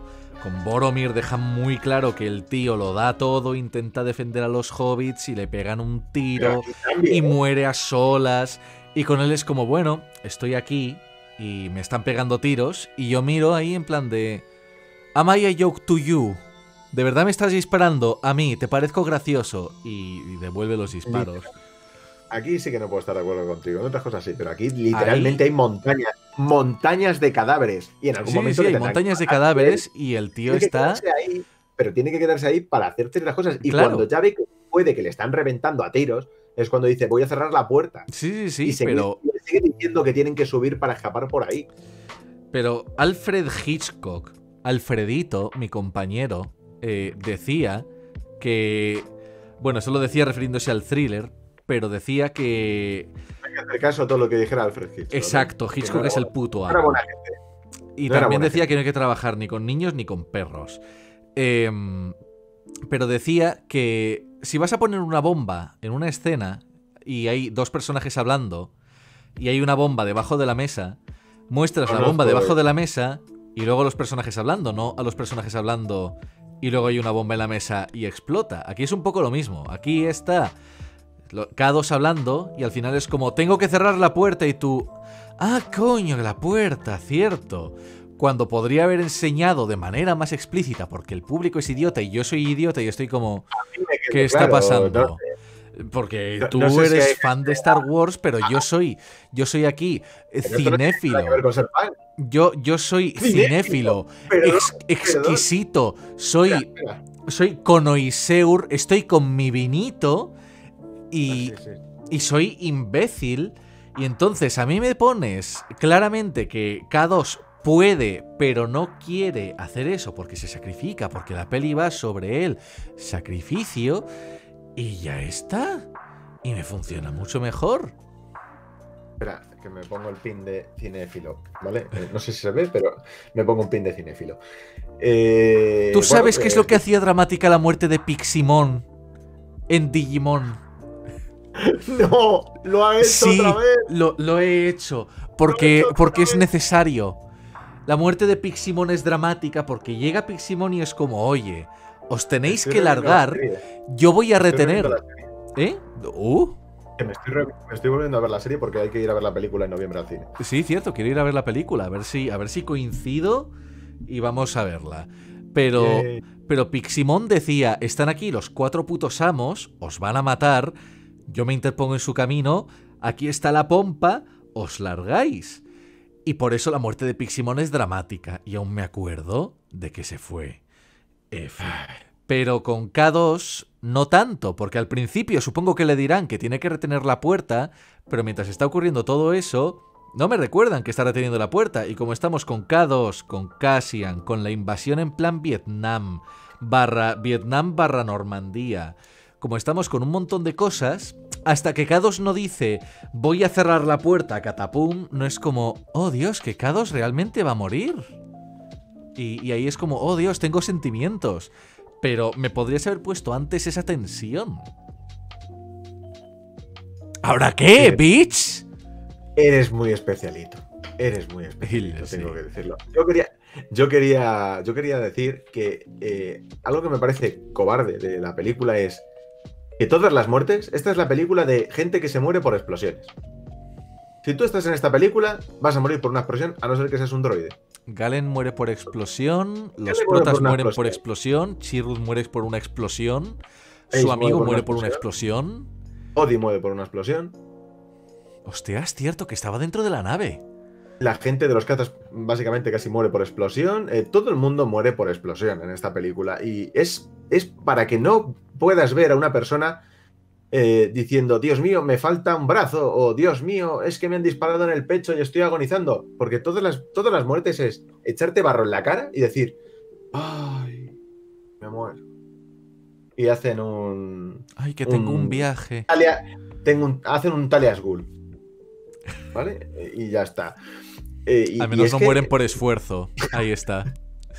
Es cierto, no mueren por esfuerzo, mueren por bomba. Es rock boom, efectivamente. Todo el mundo muere por bombas. Pero es que no entiendo por qué. Pero es que es, que es, es literalmente estúpido que eh, Chirrut, por ejemplo, que muere de una bomba, su compañero que está al lado muere también de una bomba. Pero segundos, o sea, minutos después, es como. Pégale un tiro. Eh, si tú me me enseñame una escena interesante, yo qué sé. eh, ¿Tú te acuerdas, por ejemplo, cuando masacraron a todos los Jedi en el, en el episodio 3? Sí. Los mataban de diferente forma. Pero si todos los Jedi hubieran muerto de ¡Ah! Una bomba. ¡Ah! Sí. Una bomba. Bomba. Y es todo para poner. Es que, ah, So Guerrera muere por una bomba. Por una onda expansiva. Eh, Técnicamente sí.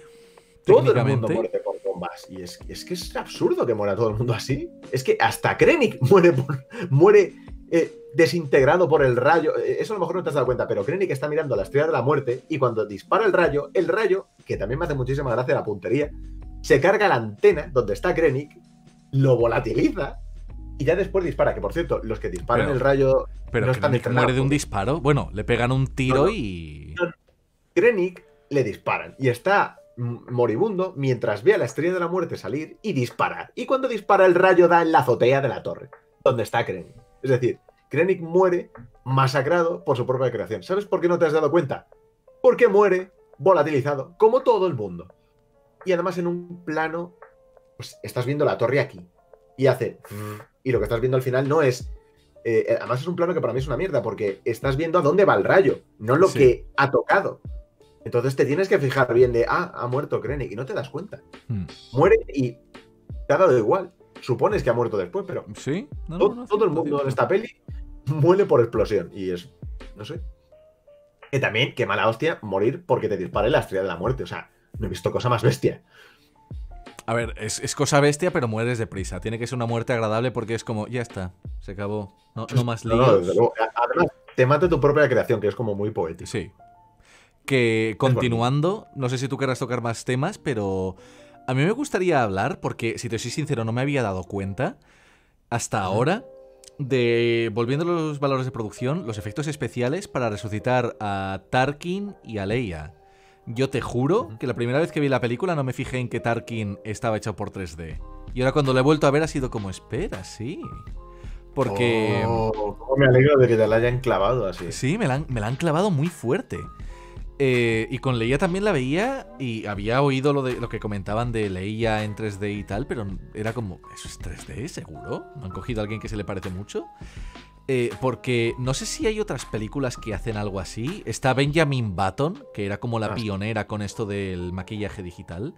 Pero creo que esta es la primera vez que se hace algo así a semejante escala, ¿no? Es que, claro, esta es la primera vez que resucitaban digitalmente a un actor muerto.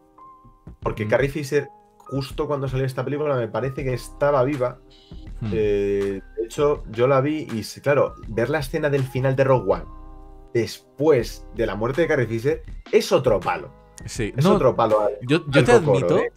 Yo te admito que cuando apareció Bueno. Leia, eh, hecha en 3D y tal, sonriendo y diciendo que nos trae esperanza, fue que además totalmente así, totalmente así, se me hizo un pequeño nudo en la garganta y en plan de, ¿qué estoy sintiendo? ¿Qué es esto? ¿Por qué estoy sintiendo ¿Has cosas? sentido algo con Star Sí, no, no, no, estuve, estuve a punto de Eh, hacer, estuve a punto de hacer un ¿por qué sudan mis ojos? No sé, ahí, ahí sí que me pillo, ahí me pillo, lo admito. Pero Es que no sé, de, hecho, creo que después de esto eh, han empezado a surgir leyes o normas o han intentado de alguna manera eh, llegar a algún tipo de consenso para saber si hasta qué punto es ético o legal resucitar un actor muerto. Que es aquí lo han hecho con un homenaje, si no recuerdo mal, con permiso de la familia, lo que sea, y Claro. acá es un homenaje que no lo van a volver a hacer y que por eso en el episodio 9 no hicieron esto con ley. Es que me da mucho puto miedo porque, a ver, es admirable que lo han conseguido, que Grand Moff Tarkin y Leia te lo cuelan por completo, pero me da mucho puto miedo porque con lo nostálgicos que estamos y con cómo la cultura está empeñada en estancarse en los años 80 barra 90, tengo miedo de que resuciten a Marlon Brando en sus años jóvenes, de que resuciten a, yo que sé, a Michael Jackson, a un montón de actores. En plan de, los echabais de menos, no os preocupéis, van a estar aquí para siempre con todos vosotros. Y, y que todo se atasque. Y sea como, da igual lo que tú quieras o no quieras, porque por ejemplo, recuerdo hace, hace un, un montón de años, Bruce Willis, para no recuerdo qué jungla de cristal, no sé si esta anécdota ya la habíamos compartido, que, que había puesto unas condiciones, no sé si para la 4 o la Sí. 5, pero había puesto sus condiciones y cuando le dijeron, oye tío, quizás estás pidiendo demasiado, él dijo, vale, a ver a quién encontráis para que haga mi papel. ¿Quieres saberlo? ¿Quieres saber a quién voy a encontrar, Bruce Willis? Pues, por ejemplo, los mercenarios 3 encontraron a Harrison Ford. Chúpate ese. Ya, pero, pero eso, si estás haciendo la, la jungla de cristal. Pero eso, es que en el futuro, a ver cómo lo hacen, porque será una de Bruce Willis ha muerto, pero en el 2040 seguimos teniendo películas protagonizadas por un tío con una máscara que hace de Bruce Willis. Y es como, bueno. También te digo una cosa, eso da, eso da juego a, a películas muy guays. Quiero decir, o sea, por A un ver, lado, por un lado es, da es juego. terrible, terrible en el lado ético, pero por otro lado puedes hacer una película con Stallone joven, Schwarzenegger joven, Van Damme joven y hacer un Battle Royale brutal. Sí, pero también es bonito crear nuevos héroes de acción. Y también te digo que Disney le conviene mucho usar esta tecnología porque la puede explotar a saco, porque tiene Star Wars donde le conviene tener a Luke Skywalker, a Leia, a Han Solo jóvenes, y tiene a Marvel, donde sí, toda la vida de Dios eh, se ha pasado el... vamos, se ha, habi- ha habido cambio de guardia, pero si Disney puede mantener a Tom Holland, a... Joder, ¿cómo se llamaba el que hace de... que no es Daniel Day- Day-Lewis, el, el que hace de Iron Man. ¿Cómo se llama el actor?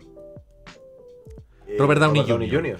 a Robert Downey Jr., a todos los actores principales y puede mantener a gente con maquillaje digital para que ellos sigan haciendo de todos estos actores y así no tener que pensar en un cambio de guardia a 40 Algo me años dice que vista. el gremio de actores está luchando para que eso no pueda ocurrir. Yo sé que eso depende también del permiso que tú des. Yo sé que Mark Hamill, Claro. por ejemplo, si no recuerdo mal, leí hace tiempo que había dado su permiso por si alguien quería recrearle como Luke joven en algún momento.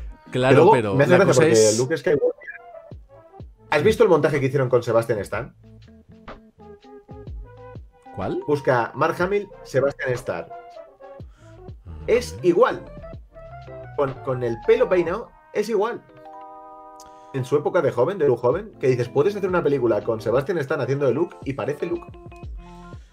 Búscalo porque lo que estoy viendo, si buscáis Sebastian Stan, eh, igual Luke Skywalker, vais a flipar.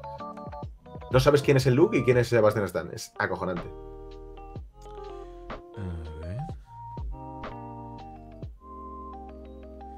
Nada, no. eh, Estoy, estoy buscando por aquí vídeos y. ¿No? Bueno, ya te lo. Si Sí, no, pásamelo. si eso luego lo Pásamelo porque lo los vídeos que encuentro son otras cosas de Mark Hamill y Sebastian Stan.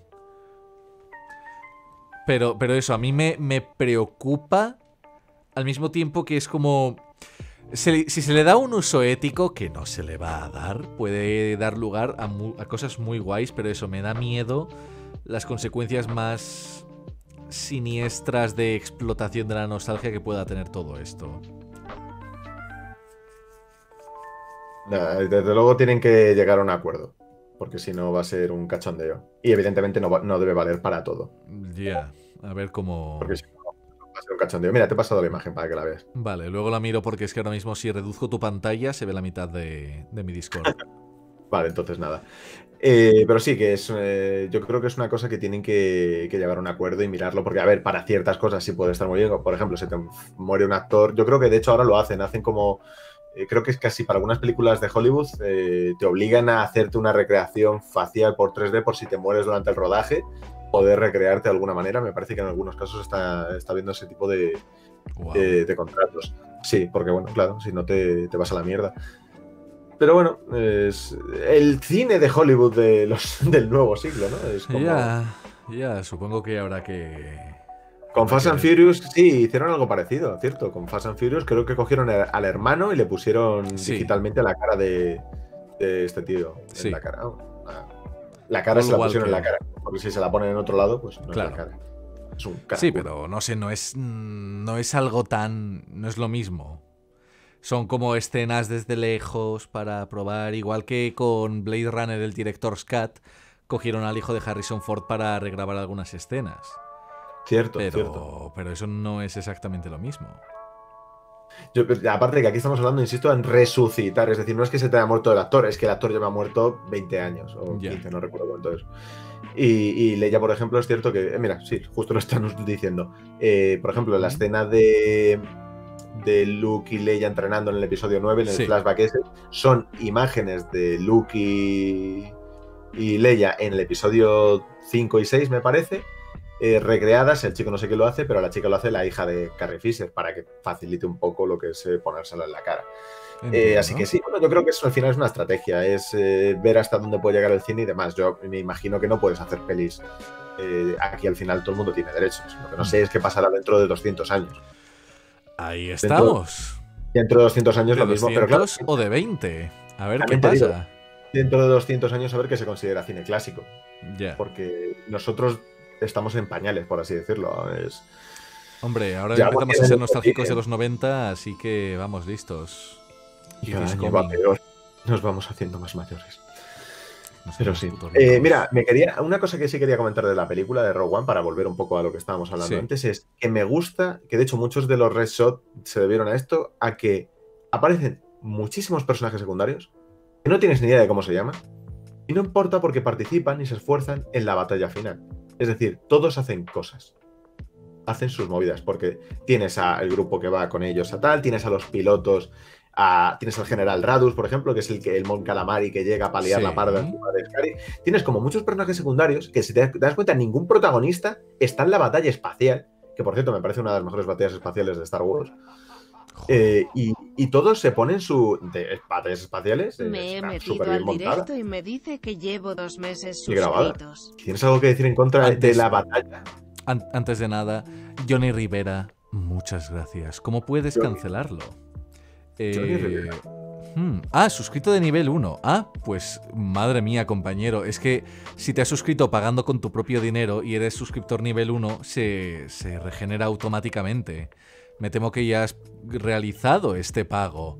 Eh, no sé cómo se cancelan las suscripciones. Honestamente, no tengo ni idea. Tienes busca en Google, que Google. Pero es eso, tenlo en cuenta para mí y para todos. Si estás suscrito de nivel y por tanto estás pagando con tu propio dinero, son suscripciones que se, se renuevan automáticamente. Pero sobre la pelea, sobre la batalla espacial de esta película, a ver, lo de los personajes secundarios que hacen cosas. Y... A mí me mola. ¿sabes? Pero ¿sabes por qué me mola? Me mola por la misma razón que no me moló la batalla espacial del episodio 9. Que no conozco a nadie y me da todo igual. Y no hay ni un puñetero plano desconocidos haciendo cosas. Porque eso es una cosa que se ha hecho siempre. Es decir, en el episodio 4, en el ataque de la estrella de la muerte, veías gente que no habías visto en toda la película, pero al menos te ibas encariñando. Porkins. Todo el mundo se acuerda de Porkins Hmm, en el episodio 4. Todo el mundo. Y se han hecho coñas del jefe y tal, de Wedge. Sí. Toda esta gente ha salido y ha hecho cosas y se ha ganado su, su puestecito porque dices, mira, se están esforzando. Y por ejemplo, todos los que atraviesan el escudo y bajan van a morir. Todos esos van a morir. Sí. Y todos Pero- los que quedan arriba. escapar. Pero es que, Entonces, con, lo que con lo que tú dices es como, ya, pero eso es escritura básica. Es decir, escritura básica, pero en el episodio 9 no lo hicieron. porque el, el episodio 9... No sabe, no está escrito por alguien que no sabe escribir. Ese es como, mira, para caminar, mira, esta persona está poniendo un pie delante de otro para caminar. Eso lo hace todo el mundo ya, pero es que el episodio 9 se, cayó, se cayó una batidora gigante. A ver. Sí, Eh, pero la mayoría de la gente no es el episodio 9. Bueno, pero que yo agradezco que tengan su momentito de gloria, que hagan sus cosas. Porque, por ejemplo, también aprovechan para meter detallitos. Eh, una cosa que tú, por ejemplo, no te hayas percatado, pero yo sí, es que sale el escuadrón rojo y el escuadrón oro, Sí. que son los escuadrones que vuelan con la estrella de la muerte en el original. Y los planos de los actores son los de los años te 70. va las pizzas. Son, se encontraron, al buscar información sobre esta película, se encontraron eh, los rollos de Finn, Sí. cogieron partes que no se habían usado y las usaron para esta película. Es decir, los planos de jefe oro, jefe no sé qué, esos son los actores de hace cuarenta y pico años. Ay, eso no lo sabía, qué guay. Ay, eso está muy si te das chulo. cuenta- Te das cuenta, también derriban a alguien que es Rojo 5. Rojo 5 es el puesto que ocupará Luke cuando vaya a la Estrella de la Muerte. Y claro, aquí lo derriban porque Sí. si no, no hay Rojo 5. Claro, claro, O sea, claro. son- No, no, no, no. Es, es- eso es fanservice que mola. Eso es fanservice que Eso, mola. eso- eso es a lo que voy, ¿no? Y, por ejemplo, el almirante Radus, que es este, que, el Mon Calamari que se sacrifica aquí al final con su nave, que es la que asalta a Darth Vader y tal. sustituye el almirante Akbar. Akbar. Eh, No, no le sustituye, en realidad los, es, es otro general, quiero decir, no. es- Son dos almirantes, ¿qué pasa? ¿Que por ser Mon Calamari solo puede haber un almirante? Pues no, aquí son dos. Entiendo. Y de hecho, eh, en, el en el ataque del Imperio a Moncala, al planeta, eh, cada uno de los dos eh, va a. lleva, digamos, una esquina puesta. Una esquina, en un globo, madre mía. Sí. Un lado opuesto del globo, ¿vale? Es decir, mientras Akbar está protegiendo el norte, por ejemplo, este está protegiendo el sur. Y tiene una estrategia como muy curiosa. El tío es como súper inteligente. Y me mola porque, por ejemplo, su nombre, Radus, eh, luego es el nombre que tiene la nave insignia de Leia en el episodio 8, que es una nave Mon Calamari, y es el Radus, en honor a este tío porque murió aquí. Por eso digo que hay ciertas cositas que me mola, que tirar el hilo y decir, Sí. mira qué guay. Son cosillas que molan. Y el que y Rojo 5 también era gordo, es cierto. Eh, si eres gordo y vuelas en una ala X, no, muere- iba a decir no, porque está el del episodio 7, pero ya se lo cargaron en el 9. Si eres gordito, que te joden. Jesús bendito. Qué horror. Sí, sí, si eres, si eres gordo no puedes montar en una ala X. Ya está. Si no, Pero a también, para ir orientándonos hacia el final, ya que estamos hablando de fanservice y cosas guays. Iba Darth al Vader. final. Darth Vader. Empecemos con la primera aparición de Darth Vader. Porque Vader aparece en Mustafar, que también sale en este planeta. Ya llevamos. Creo La, que llevamos. la primera aparición de Darth Vader me chupa tres pingos. Lo siento, me gusta mucho esa expresión. Me chupa tres pingos, la primera aparición de Darth Vader. Yo Me da tan aquí- igual. Pero ¿sabes por qué está hecha? Porque si te la ponen simplemente al final, eh, no tiene su momento al principio. Es decir, cuando aparece por primera vez eh, en la Hmm. batalla que llega con su nave, que además se estampan naves contra él y tal, y está en el puente de mando, lo único que dice es. Estás en el culmen, estás en, se están llevando los planos, se están llevando los planos. No puedes hacer una intro de Vader decente. Aparecería como si fuera cualquier almirante secundario diciendo vamos a subir a esa nave. Y no te impresionaría, dirías, vaya mierda de introducción de Vader. ¿Y por qué que- no? Pero si, dice, pero si durante el ataque van diciendo avisar a Lord Vader. Y ahí podría ser un coño, Darth Vader está metido en la wea. O durante la no- película, durante la película podrían decir quizá deberíamos avisar a Lord Vader y así te ahorras la torre de Saruman en la lava, que sí, que Mustafar y todo lo que quieras, es ridículo, es absurdo. Que lo que tú ¿Qué quieras es ridículo? absurdo, es tan. Sauron elevado a la millonésima que me parece una cosa ridícula. Em, pero me sobra. La historia de. la- eh, cá- cállate un minuto. La historia del castillo de Mustafar, si queréis profundizar sobre ella, la tenéis en los cómics de Vader Lord Oscuro y también la tenéis en el videojuego Vader Inmortal. Yo estoy seguro de que Vader se monta una sitcom de la hostia ahí con sus aprendices. Y, y empuja a la gente a ríos de lava y todos nos lo, nos lo pasamos muy bien. Pero ¿Qué haces en mi cumpleaños? Pero es que es eso. eh, podrías presentar a Darth Vader como esta figura oscura que se presenta y al final aparece en esta aparición triunfal. Pero la escena de Mu- de Mustafar es que es eso. Yo, que soy una persona con raciocinio, porque solamente veo las películas de Star Wars y a veces juego a videojuegos, em, me pones de pronto y en la mansión del mal del comandante nazi Darth Vader devora niños en el planeta de lava y me parece ridículo. Y es como, bueno, Vale, pues aquí está ver, Darth. Vader. Eso es fanservice mal para mí. Eso Claro. me parece fanservice mal. Mira, está de puta madre. Vader en esta película es lo mejor que, po- que podían haber hecho con Vader, porque con Vader podían haberte lo puesto toda la puñetera película y no hacer nada. Pero esto es la hostia. Antes, antes, antes de seguir, si Darth Vader, como dice Charlie, si Darth Vader se ríe, es una risa enlatada. Charlie, tú, tú me entiendes. ¿Vale? Brofist. Eh, en fin. Eh, a mí me mola, me mola porque también me dice varias cosas. Me dice, me da más detalles sobre el personaje de Vader. Que joder, llevamos. A ver, pensemos una cosa. Vader llevaba sin aparecer en pantalla desde el año 88, 89, no recuerdo ahora mismo. Te, te olvidas del episodio 3. Te olvidas del episodio 3. Miente, ¿Es cierto? ¿Cierto? Muy bien. Eh, desde el episodio 3, cierto. En el 2003, de hecho. O en el 2005. Jo, estoy hoy espeso con la fecha. Por ahí. Eh, más o menos, unos 20 años, vamos a decir, 20, 15 años. Eh, a mí la aparición que tiene me parece genial, sobre todo porque también es dramática, porque todo lo que tiene que ver con Vader es dramático, con la puerta de la hostia. Me encanta que le pille en el baño. Eso a mí me hace gracia. Sí, básicamente le está pillando mientras se ducha. Los invitados se presentaron por sorpresa. ¿Vale? Y, tiene que joder. de picoteo. Tiene, tiene que joder que ser Vader y que te pillen en el baño, ¿vale? Eh, pero también le ves hecho mierda, eh, le ves destrozado. O sea, le da ese juguillo de este tío, ¿sabes? Está guay. Y es cierto que su, su aparición y su conversación no tiene gran interés, pero justifica su presencia por lo que va a hacer después. O sea, yo, si además Vader prácticamente, la escena de, las escenas de Vader se metieron a última hora corriendo y deprisa. Sí. Y, se nota. sí, vale, lo que tú quieras. Alguien está. eh, alguien dice, no, mejor, la película mejoraría sin la escena de Vader al final. ¿Existe esa persona? Aquí en el chat, ¿alguno, ¿alguno creéis que la escena mejor. la película acaba mejor si quitamos a Vader del final? ¿Creéis que la película sería mejor, sen- sería más ligera, liberas peso si quitas la escena de Vader en Mustafar? Yo digo yes. Yo digo que Vader en esta película está muy bien metido y que mola mucho. Vader mola al final. Podrías haberle presentado diciendo llamada a Vader, id avisándole. Y se presenta al final y es como coño Vader. Pero si le presentas en Mustafar es una de ¿en serio vive ahí? ¿Le han "¿Ves? construido su casa ahí? no. Ni a putas. No, la película es la escena de Vader. Vader es lo único bueno. Está Ya solo, sí, pero, amigo. pero a ver, a ver, a ver. Están, están hablando, están hablando de la escena final. Están ¿Ves?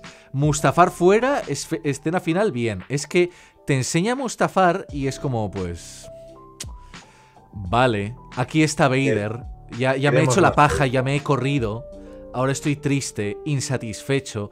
Pero te van, te van haciendo la sugerencia, te van mostrando un poco de cachete y diciéndote, uh, quizá aparezca Vader por aquí. La, la Algo, wea- algo la wea se está prendiendo y al final aparece Vader y es como ¡Dios! ¡Oh! alguien me dice, algo, ahí algo mola. interior me dice, algo me dice que si eso, eso ocurriera, si no hubiera escena de Mustafar, si llaman a Vader y aparece Vader al final, hubieras dicho, es que me parece que aquí Vader está sacado a chorón porque le han cogido para meterlo Y lo así está, y lo service". está. Incluso, Como incluso con esa escena final lo está. Lo está totalmente. Podrías haber hecho otra escena. Que tal y como está es memorable la, y la gente se acuerda de ella. Vale. Pero lo está. Me mantengo en mis 13 y lo siento gusta. si no tenéis ni puta idea de cine. A mí me gusta porque amplía el lore del personaje y de la película. Pero tú, que eres un sosainas, no te gusta. Pero a mí. Pues, tío, me gusta, a mí- me gusta que a lo sí. que me va a venir luego. Que porque aparte, ver, cuando Vader al final, te has olvidado de que está Vader.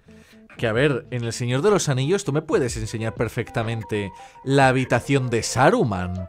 Y que Desde está que- Saruman dormido en una cama que es cama de Luis XVI con sus columnitas y las sábanas de lino y todo eso, y Saruman duerme abrazado a un peluche de un hobbit, y es como, ay, pero eso añade al lore, y es Saruman que tiene un toque soft. Vale, no me hacía falta. Es como, ¿Saruman en serio? Que Saruman tiene que dormir en alguna parte. Y Saruman tiene que abrazarse a algo. Pero... Aquí dice que te dediques a limpiar confeti y que desde que. y desde que dijiste los Prometeus nadie te toma en serio. Yo lo siento, estoy escupiendo factores. La gente puede escucharme o puede negarse la realidad. Yo lo siento mucho. Soy el meme Pero- de Jesucristo de les, le odiaban porque su mensaje era cierto. Sí, ¿no? Lo siento. Vas a hacerlo, ¿no? En plan de la escena de Mustafar sobra totalmente. Pero vete largo. Le odiaban porque decía la verdad. ¿no? Ahora yo lo digo porque es Exacto, exacto, exacto. Y lo sabéis. Eh, pero Lo vamos, sabéis. para, para, la escena de Mustafar. Yo paso de tus ridículos gustos de la escena de Mustafar, pero vamos a la escena final. La escena final. Hmm. La escena final. Que se te han muerto todos los. O sea, pero además es que no te da respiro. O sea, se te han muerto todos los puñeteros protagonistas. Y lo que haces es esa escena, que es brutal, que es tensa y que es terrorífica. Es terrorífica, o sea, porque dices. Hola a "Esto todos los es que llevan hace". des- desde Saptra. Staptra. Gracias, Oh. Staptra.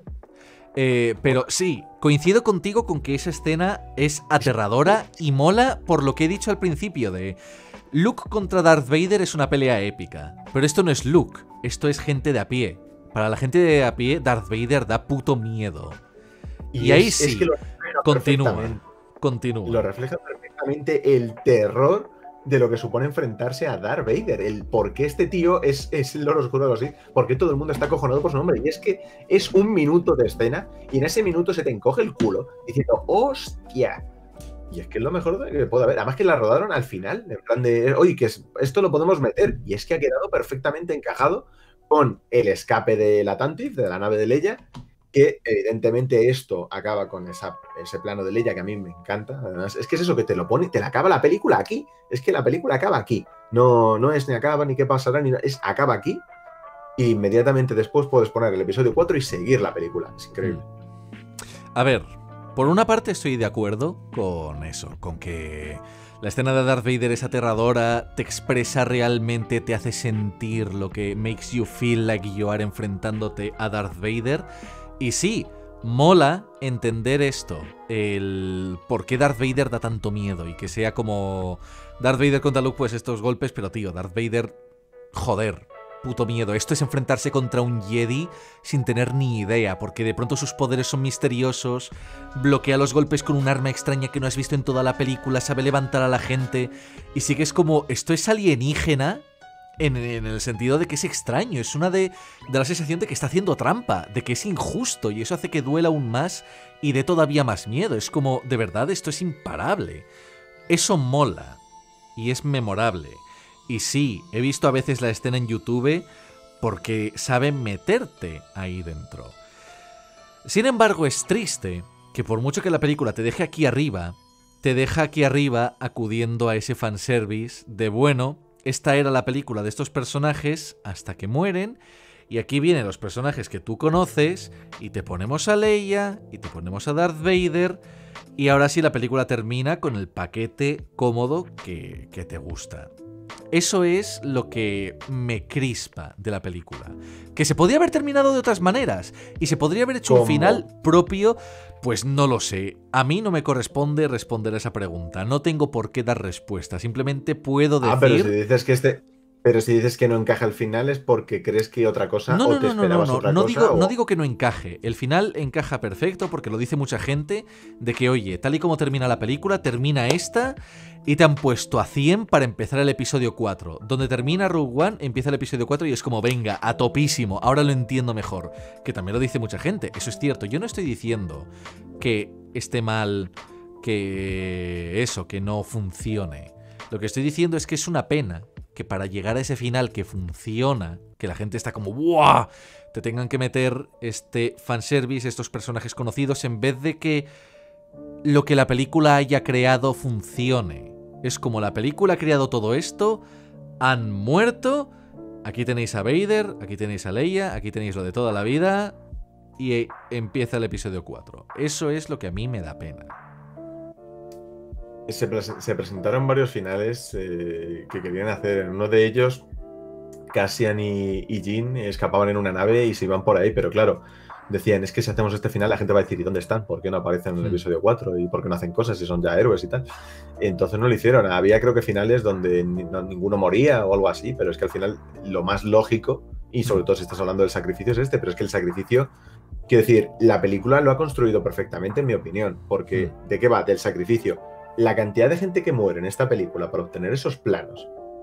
Y ese Sí. fanservice que tú dices es para salvar lo que, han, lo que tanto les ha costado a los protagonistas de esta película. Sí, sí, no, es sí, decir, a ver. ese fanservice es una salida en extremis de vamos a huir a toda leche porque viene y porque también tiene que encajar por fuerza en el episodio 4. Entonces, al final sí que acaba con el tema de la película, que es con esto vamos, estamos dando esperanza, que precisamente lo dice Leia, estamos dando esperanza a otros para acabar con el imperio. Sí. Entonces, para mí el final une perfectamente con toda la película. Sí, sí, sí, lo sé. Y sé que es después de, de entre todo esto un tema muy recurrente en Star Wars, además, que es, a pesar de todo, siempre hay luz, siempre hay esperanza, siempre podemos seguir. Eh, estoy de acuerdo con que coincide con ese final que tú habías dicho. Y lo dicho, eh, funciona muy bien, te deja de puta madre, es como el final por todo lo alto. Esto es más una protesta, reflexión, reflexión lanzada al aire. eh, es esto, ¿no? Esto, es, es- esto es esto, ¿no? Exacto. De cinéfilo y de persona que está leyendo la escuela de Frankfurt, que es triste que haya que. que está leyendo pajilleros. Eh, que es triste que haya que acudir a esta comodidad de la marca, del fanservice, que la mejor solución sea esa, porque sí. Yo me pongo a pensar en otros finales posibles y es como, pues sí, es cierto que no se me ocurre un mejor final que este. Pero también quizás sea porque este final ya nos lo han presentado y está de puta madre. Pero... Y entonces, eso... Que sí, que sí, que sí. Pero está de puta madre dentro de lo conocido, dentro de que estamos con Darth Vader y estamos con Leia cuando quizás se podría haber dado unas cuantas vueltas más y se podría haber acabado con otro final en el cual Darth Vader se prepara para ir a por ellos y le dan los planos a Leia y, y se acaba por todo lo alto de otra manera. O quizá el problema está de raíz y está en el hecho de que uno de los motivos por los que llama tanto la atención es porque el resto de la película nos han presentado personajes a los que no hemos conocido tanto y de pronto tenemos algo a lo que aferrarnos, como en la Goofy película. Y, y entonces, claro, quizá es esta concatenación de eventos en los cuales hemos estado viendo todo esto pregunta, que la daba para la más. Goofy película, la Goofy película viene de la serie de Goofy, ¿verdad? No, primero viene la, la película y luego la serie, si no me equivoco. Pero, el personaje de Goofy es de antes. sí. Entonces empiezas con eso conocido, ¿no? Pero es que la base es esa. Pero es que esto es eh, Darth Vader con Starkiller. Yo te estoy diciendo otra cosa. No es exactamente lo mismo porque también la Goofy película, el universo Mickey es bastante más pequeño que el universo Disney. Digo que el universo Star Wars. El universo Star Wars es literalmente una galaxia entera, muy muy lejana, con miles de años de historia. El universo Mickey es Mickey Mouse, el pato Donald, Goofy y no salimos de ahí. Y tiene que ser todos sus hijos, ¿Y qué o con House Pluto? of Mouse o, o Pete. Pero lo que me da pena es que como la película de Rogue One tiene todos estos personajes que al final no dan para tanto, tiene todas estas cosas que intenta hacer pero al final no llega, para que el final no funcione, pa- para que el final funcione tanto, necesitas acudir a otra cosa. Y necesitas crear esta escena de fanservice, que es fanservice que mola, pero es fanservice. La pena es que Rogue One al final no deja de ser una película que responde a eso, a que es fanservice, en vez de ser esta nueva creación que sea memorable y que sea como, uh, lo que ha creado Rogue One de verdad da y que, y que da porque lo que hay ahí funciona, en vez de que da porque lo que hay ahí es una de, podría expandirse. Bien, estamos de vuelta, de acuerdo. Estamos de vuelta, ¿no? Sí. Vale, bien. Eh, pero eso, lo que me da pena es que sí, que el final funciona de puta madre, pero en parte funciona de puta madre y no concebimos un final mejor porque la base es imperfecta, la base no da para más, porque los personajes que tenemos... Pero es que no puedes, no puedes disfrutar del final que funciona y olvidarte Sí, del qué. Disfruto del final que funciona, pero lo que pasa es que mi profesión es ser crítico. Soy crítico de cine y de videojuegos, y entonces siempre pienso en esto. Intento dar el paso extra de cómo Star Wars no puede alejarse tanto de lo conocido y aventurarse hacia estas historias propias, porque las historias propias no son tan interesantes. Y luego con The Mandalorian lo están consiguiendo. Pero de Mandalorian, precisamente como los personajes funcionan, como la base funciona, te pueden meter que el final de la temporada es que el tío tiene una espada negra y tú dices, ¡hostias! Y que si metes a Darth Vader y el Mandaloriano se enfrenta a Darth Vader y hay una pelea épica Sí, y eso se relaciona con otra cosa, sería mega épico. Seguramente. Pero The Mandalorian tiene el final que tiene y está de puta madre. Y ¿Sabes lo Rogue One no lo, no lo puede llegar porque la base no es buena. Lo, lo gracioso es que tú, por ejemplo, dices, guau, tiene una espada láser y te quedas ahí. Luego estamos los que hemos visto las guerras clon. Sí, Estamos sí, años sí, luz de distancia, Pero, pero hay, hay niveles, cosas. hay niveles, y tú me explicaste qué significa. Lo sé, pero hay niveles. Es lo que habíamos dicho antes. Está el fanservice de R2D2 y C3PO, que es, has visto las todos películas Star es Wars, caca. es caca. Guiño, Y está el fanservice de detalles de si has visto esto, si conoces esto, te das cuenta de la verdadera gravedad de lo que está pasando.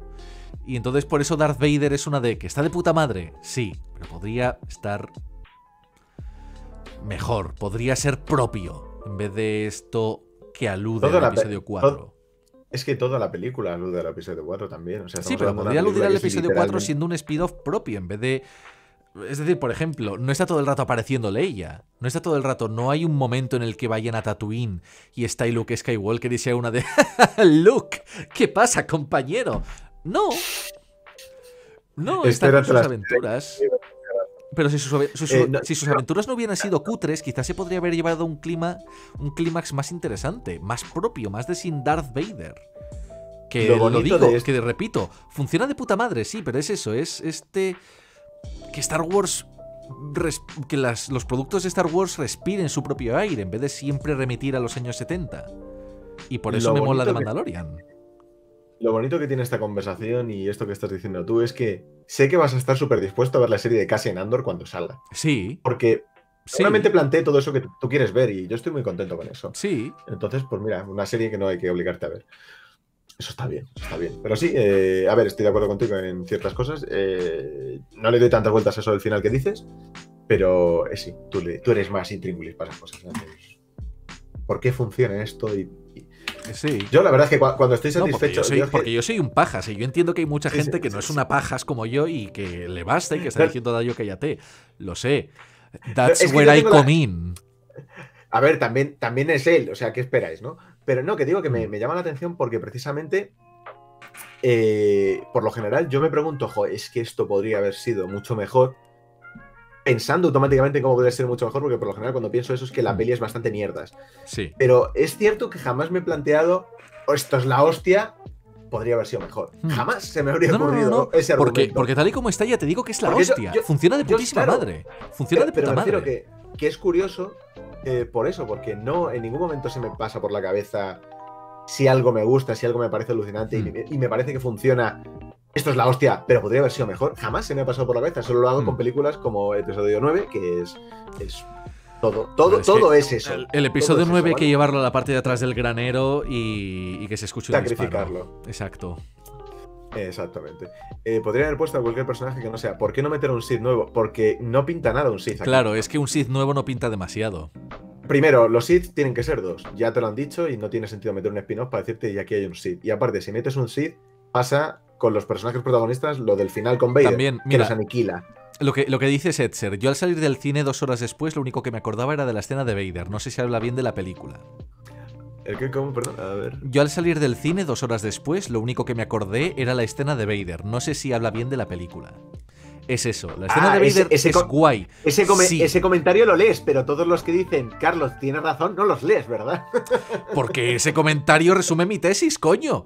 Porque yo estoy de acuerdo con que la escena funciona de puta madre, pero Setzer, Hombre, my también- man, mi, mi drugo, Sí, pues no eso. sé, yo, yo, yo recuerdo las películas, aunque sean malas, con más de 24 horas de antelación de- después, ¿eh? O sea, no sé yo. Eso no sé hasta qué punto está guay. Eh, ah, mira, sí, de- detalles curiosos, no los he mencionado, pero aquí eh, Daniel Rock lo dice muy bien. El rebelde que les acopla a Tantif es. Hmm. es. Gareth. Joder, no me sale el nombre ahora. El director de la película. Ed- Edwards. Gr- Gracias, Gareth Edwards. Y el, el que dispara, o el que está en la estrella de la muerte, que se cubre la cara, es Oh. eh, Ryan Johnson. Es cierto. Mírales. Es cierto. Qué gracia. Luego Gareth Edwards aparecía en, la- en el planeta de Sal, ¿no? En el episodio 8. Sí, es el que está al lado del que hace Sí. sal, que podría decir cocaína. pero Es cocaína. Eh, Sí, que es que me- me hace gracia porque tú ves arena y lo primero que haces es a ver cómo sabe. Pero es para decirte que sal. Es, es- Sí. es muy gracioso. Es como, voy a, voy a añadir esta frase porque sí. Ay, pruébala. Son- Maravilloso.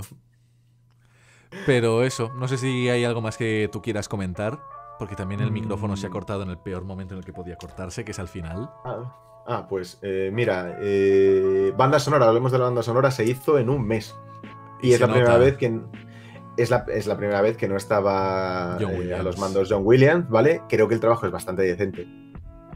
Para ver si en un mes. O sea, a mí me pides hacer una banda sonora en un mes y te hago con la flauta. Ya, pero, ¿Vale? pero Sí, es que este tío es un ya. compositor profesional. Michael Giacchino ha trabajado, lleva muchos años. Pero me refiero que yo creo que da la talla.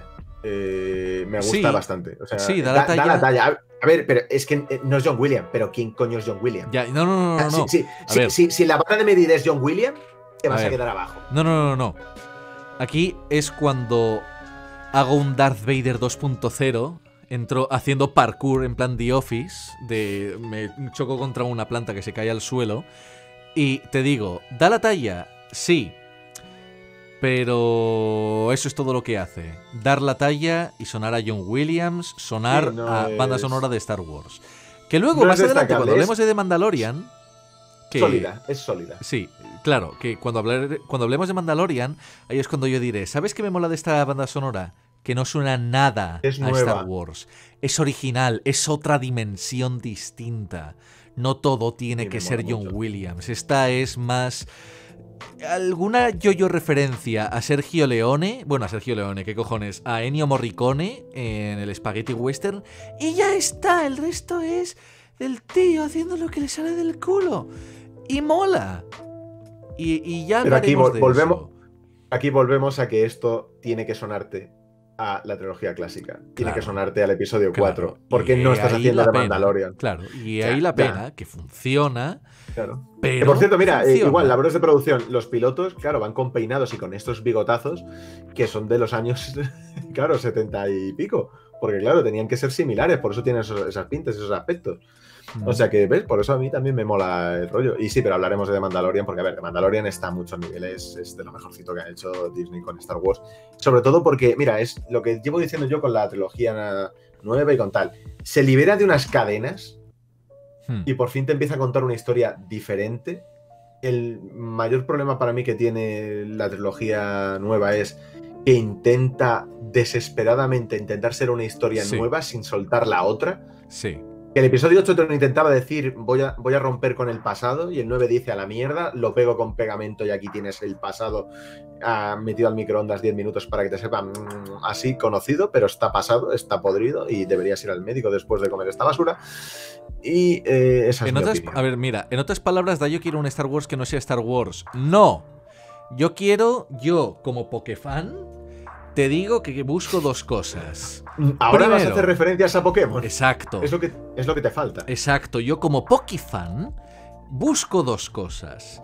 Mis fanfics favoritos son o Darkfix de Ash Ketchum, que es Pokémon con un sabor súper distinto a Pokémon, o eh, cómics barra fanfictions que no tienen que ver nada con la historia de Ash Ketchum y que no aparece de ninguna manera, o que es como la serie de Ken que dicen Ash Ketchum, ¿quién era? Un gilipollas y hay una chica que su papel es estar ahí con su Pikachu y ser imbécil y aprender que Ash Ketchum es un mierdas y el que mola es. Ken que es un terrorista y va haciendo actos terroristas y hay operaciones terroristas y la serie de Ken mola un montón.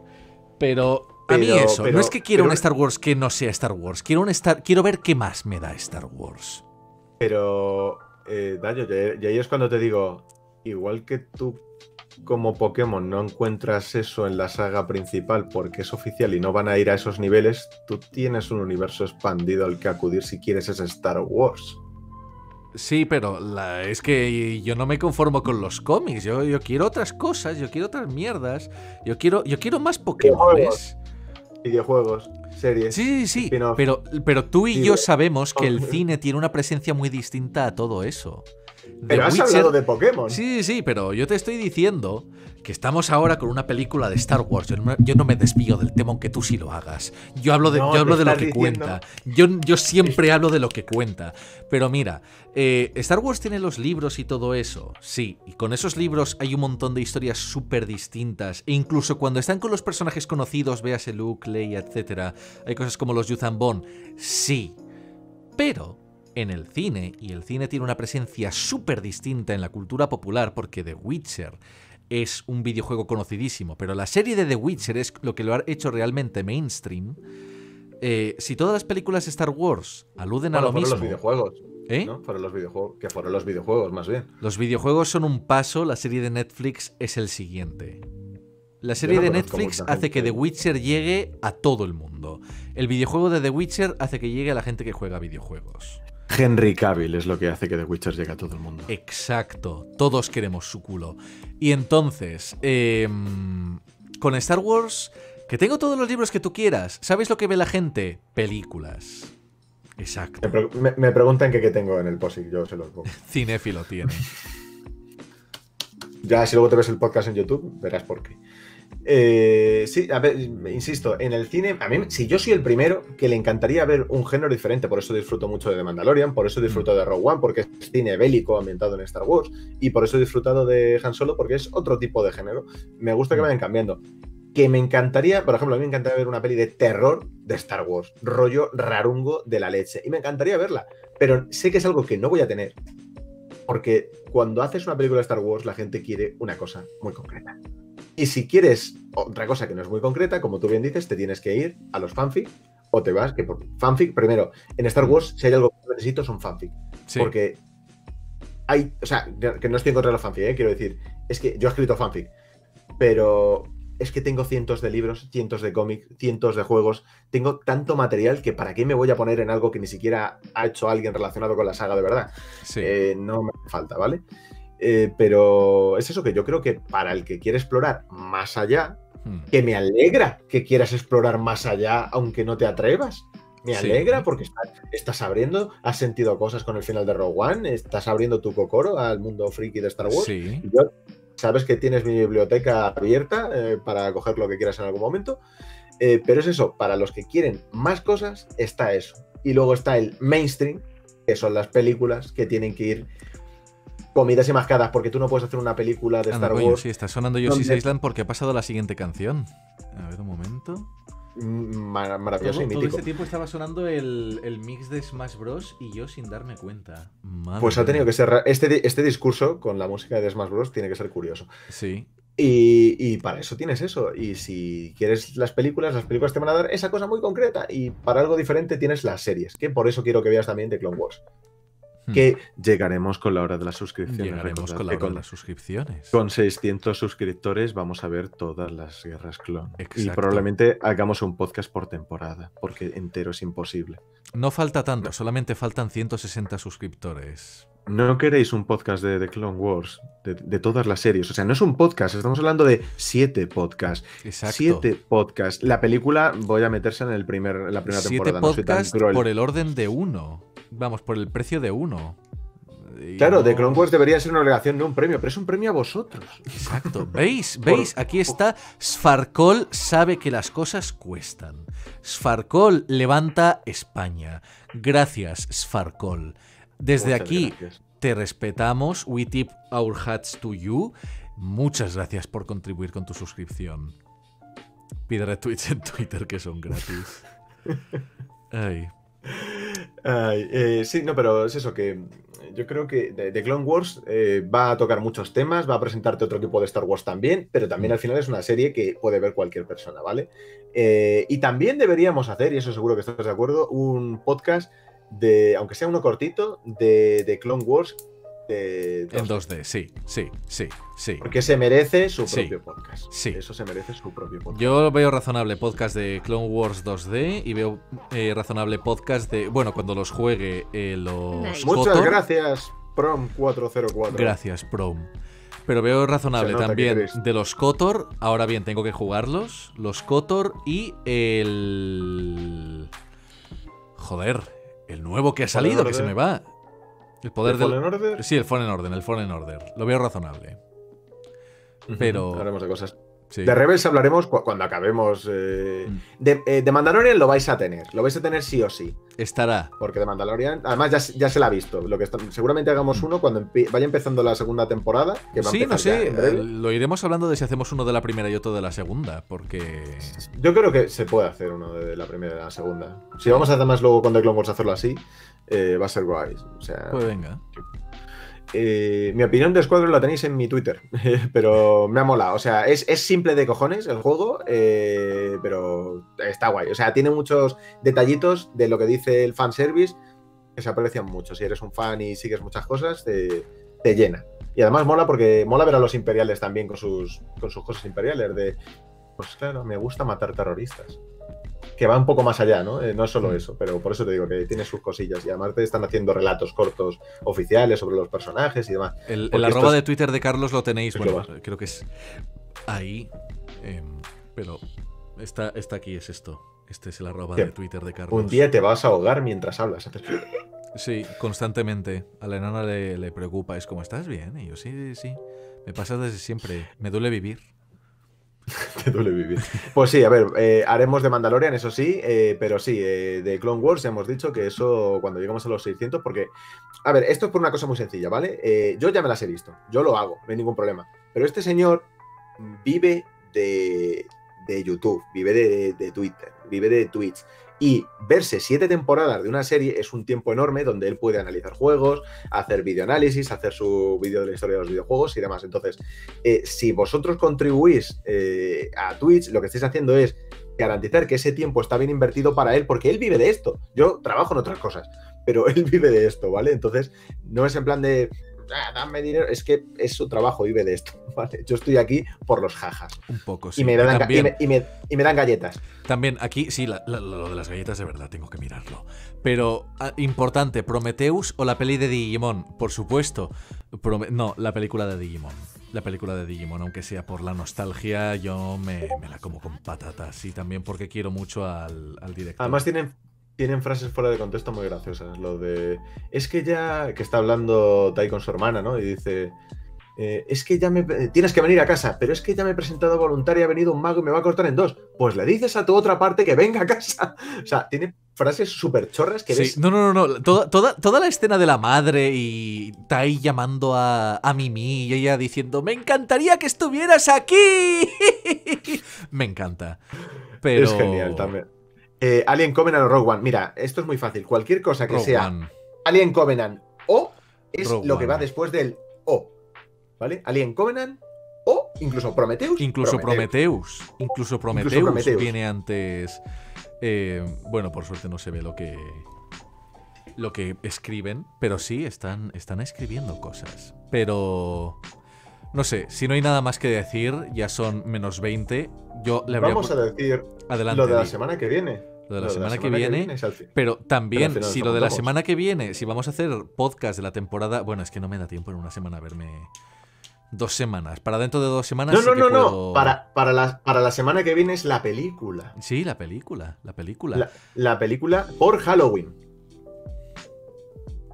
Es que estoy pensando si la a- película o si encontrar un videojuego de terror que podamos jugar eh, online.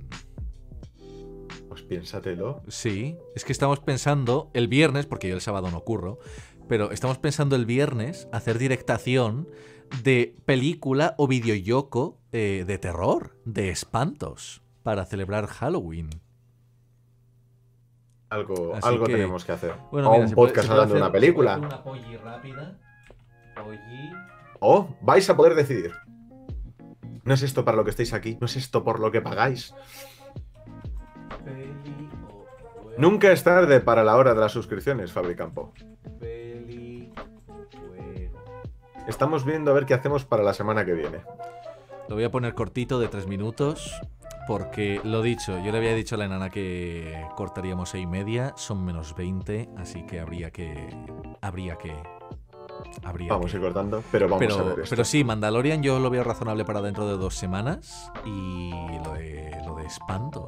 Habrá que pensar en, en qué se ve o qué Man- se juega. Mandalorian- yo pago para que sí, bueno, incluso podemos. Pero yo de verdad. Y es un dinero bien pagado. Ahora, ahora te hago un bizum para que puedas comer caliente esta noche. Eh, The Clone Wars lo hemos dicho, The Clone Wars lo vamos a hacer, eh, por lo que he comentado antes, cuando lleguemos a los 600 suscriptores. Exacto. Que no hace falta Exacto. ni que pagáis, si tenéis cuenta en Prime, se pueden hacer mierdas, se pueden regalar suscripciones. Aquí, sí, Twitch es una movida muy rara. Yo acabo de entrar aquí y solo estoy de invitado y yo, hay muchas cosas raras. Yo veo aquí gente tirando cosas. ¿Qué te gustaría ver en la trilogía que viene? Eh, espero que en- algo que esté muy lejos en el tiempo. Estaría que bien no que salga- exploraran la. Uy, muchas gracias, Teme- Timer Troll. Muchas Deme gracias. troll. Pero estaría muy bien que ahora que están haciendo el todo el rollo este con las novelas y tal de la de la Alta República, estaría guay que las que la futura trilogía fuera de eso. Puede estar guay. Dicen que Taika Waititi está trabajando en una nueva trilogía. No tengo ni idea y también, a ver, me encanta Taika Waititi y lo que está haciendo en The Mandalorian como director me, me mola mucho. Así que, oye, a ver, a ver qué nos presenta. Yo lo que quiero es algo diferente. Sí, ¿vale? por algo, favor. Algo, algo diferente con sabor antiguo, que es lo típico, pero es que me gusta. Quiero decir, The Mandalorian es eso. Es algo diferente, pero que tiene el sabor clásico. Yo con que no tenga que ver con la saga Skywalker y demás, yo soy feliz. Que siempre va a No, haber fanservice, pero Dicen que la saga Sí, pero en, en el sentido de eso, de que no tenga nada que ver, de que sea algo nuevo, aventurarnos a, a una nueva dimensión. Yo creo que eso es lo que tienen que tirar. Tienen que tirar por algo diferente y, y ver qué tal. De Mandalorian hablaremos de ella en un par de semanas, de la primera temporada. Y cuando acabe la segunda temporada, pues hablaremos de la segunda seguramente. Hmm. Y así estáis pues, pues bien preparados. Y para la semana que viene, pues eso. ¿Es usted Carlos Lucas? Soy Carlos Lucas. En efecto, es Carlos Lucas. Así es, el heredero. Eh, Taika Waititi maduró mucho con Jojo Rabbit. No lo he visto todavía. No merece tanto la pena.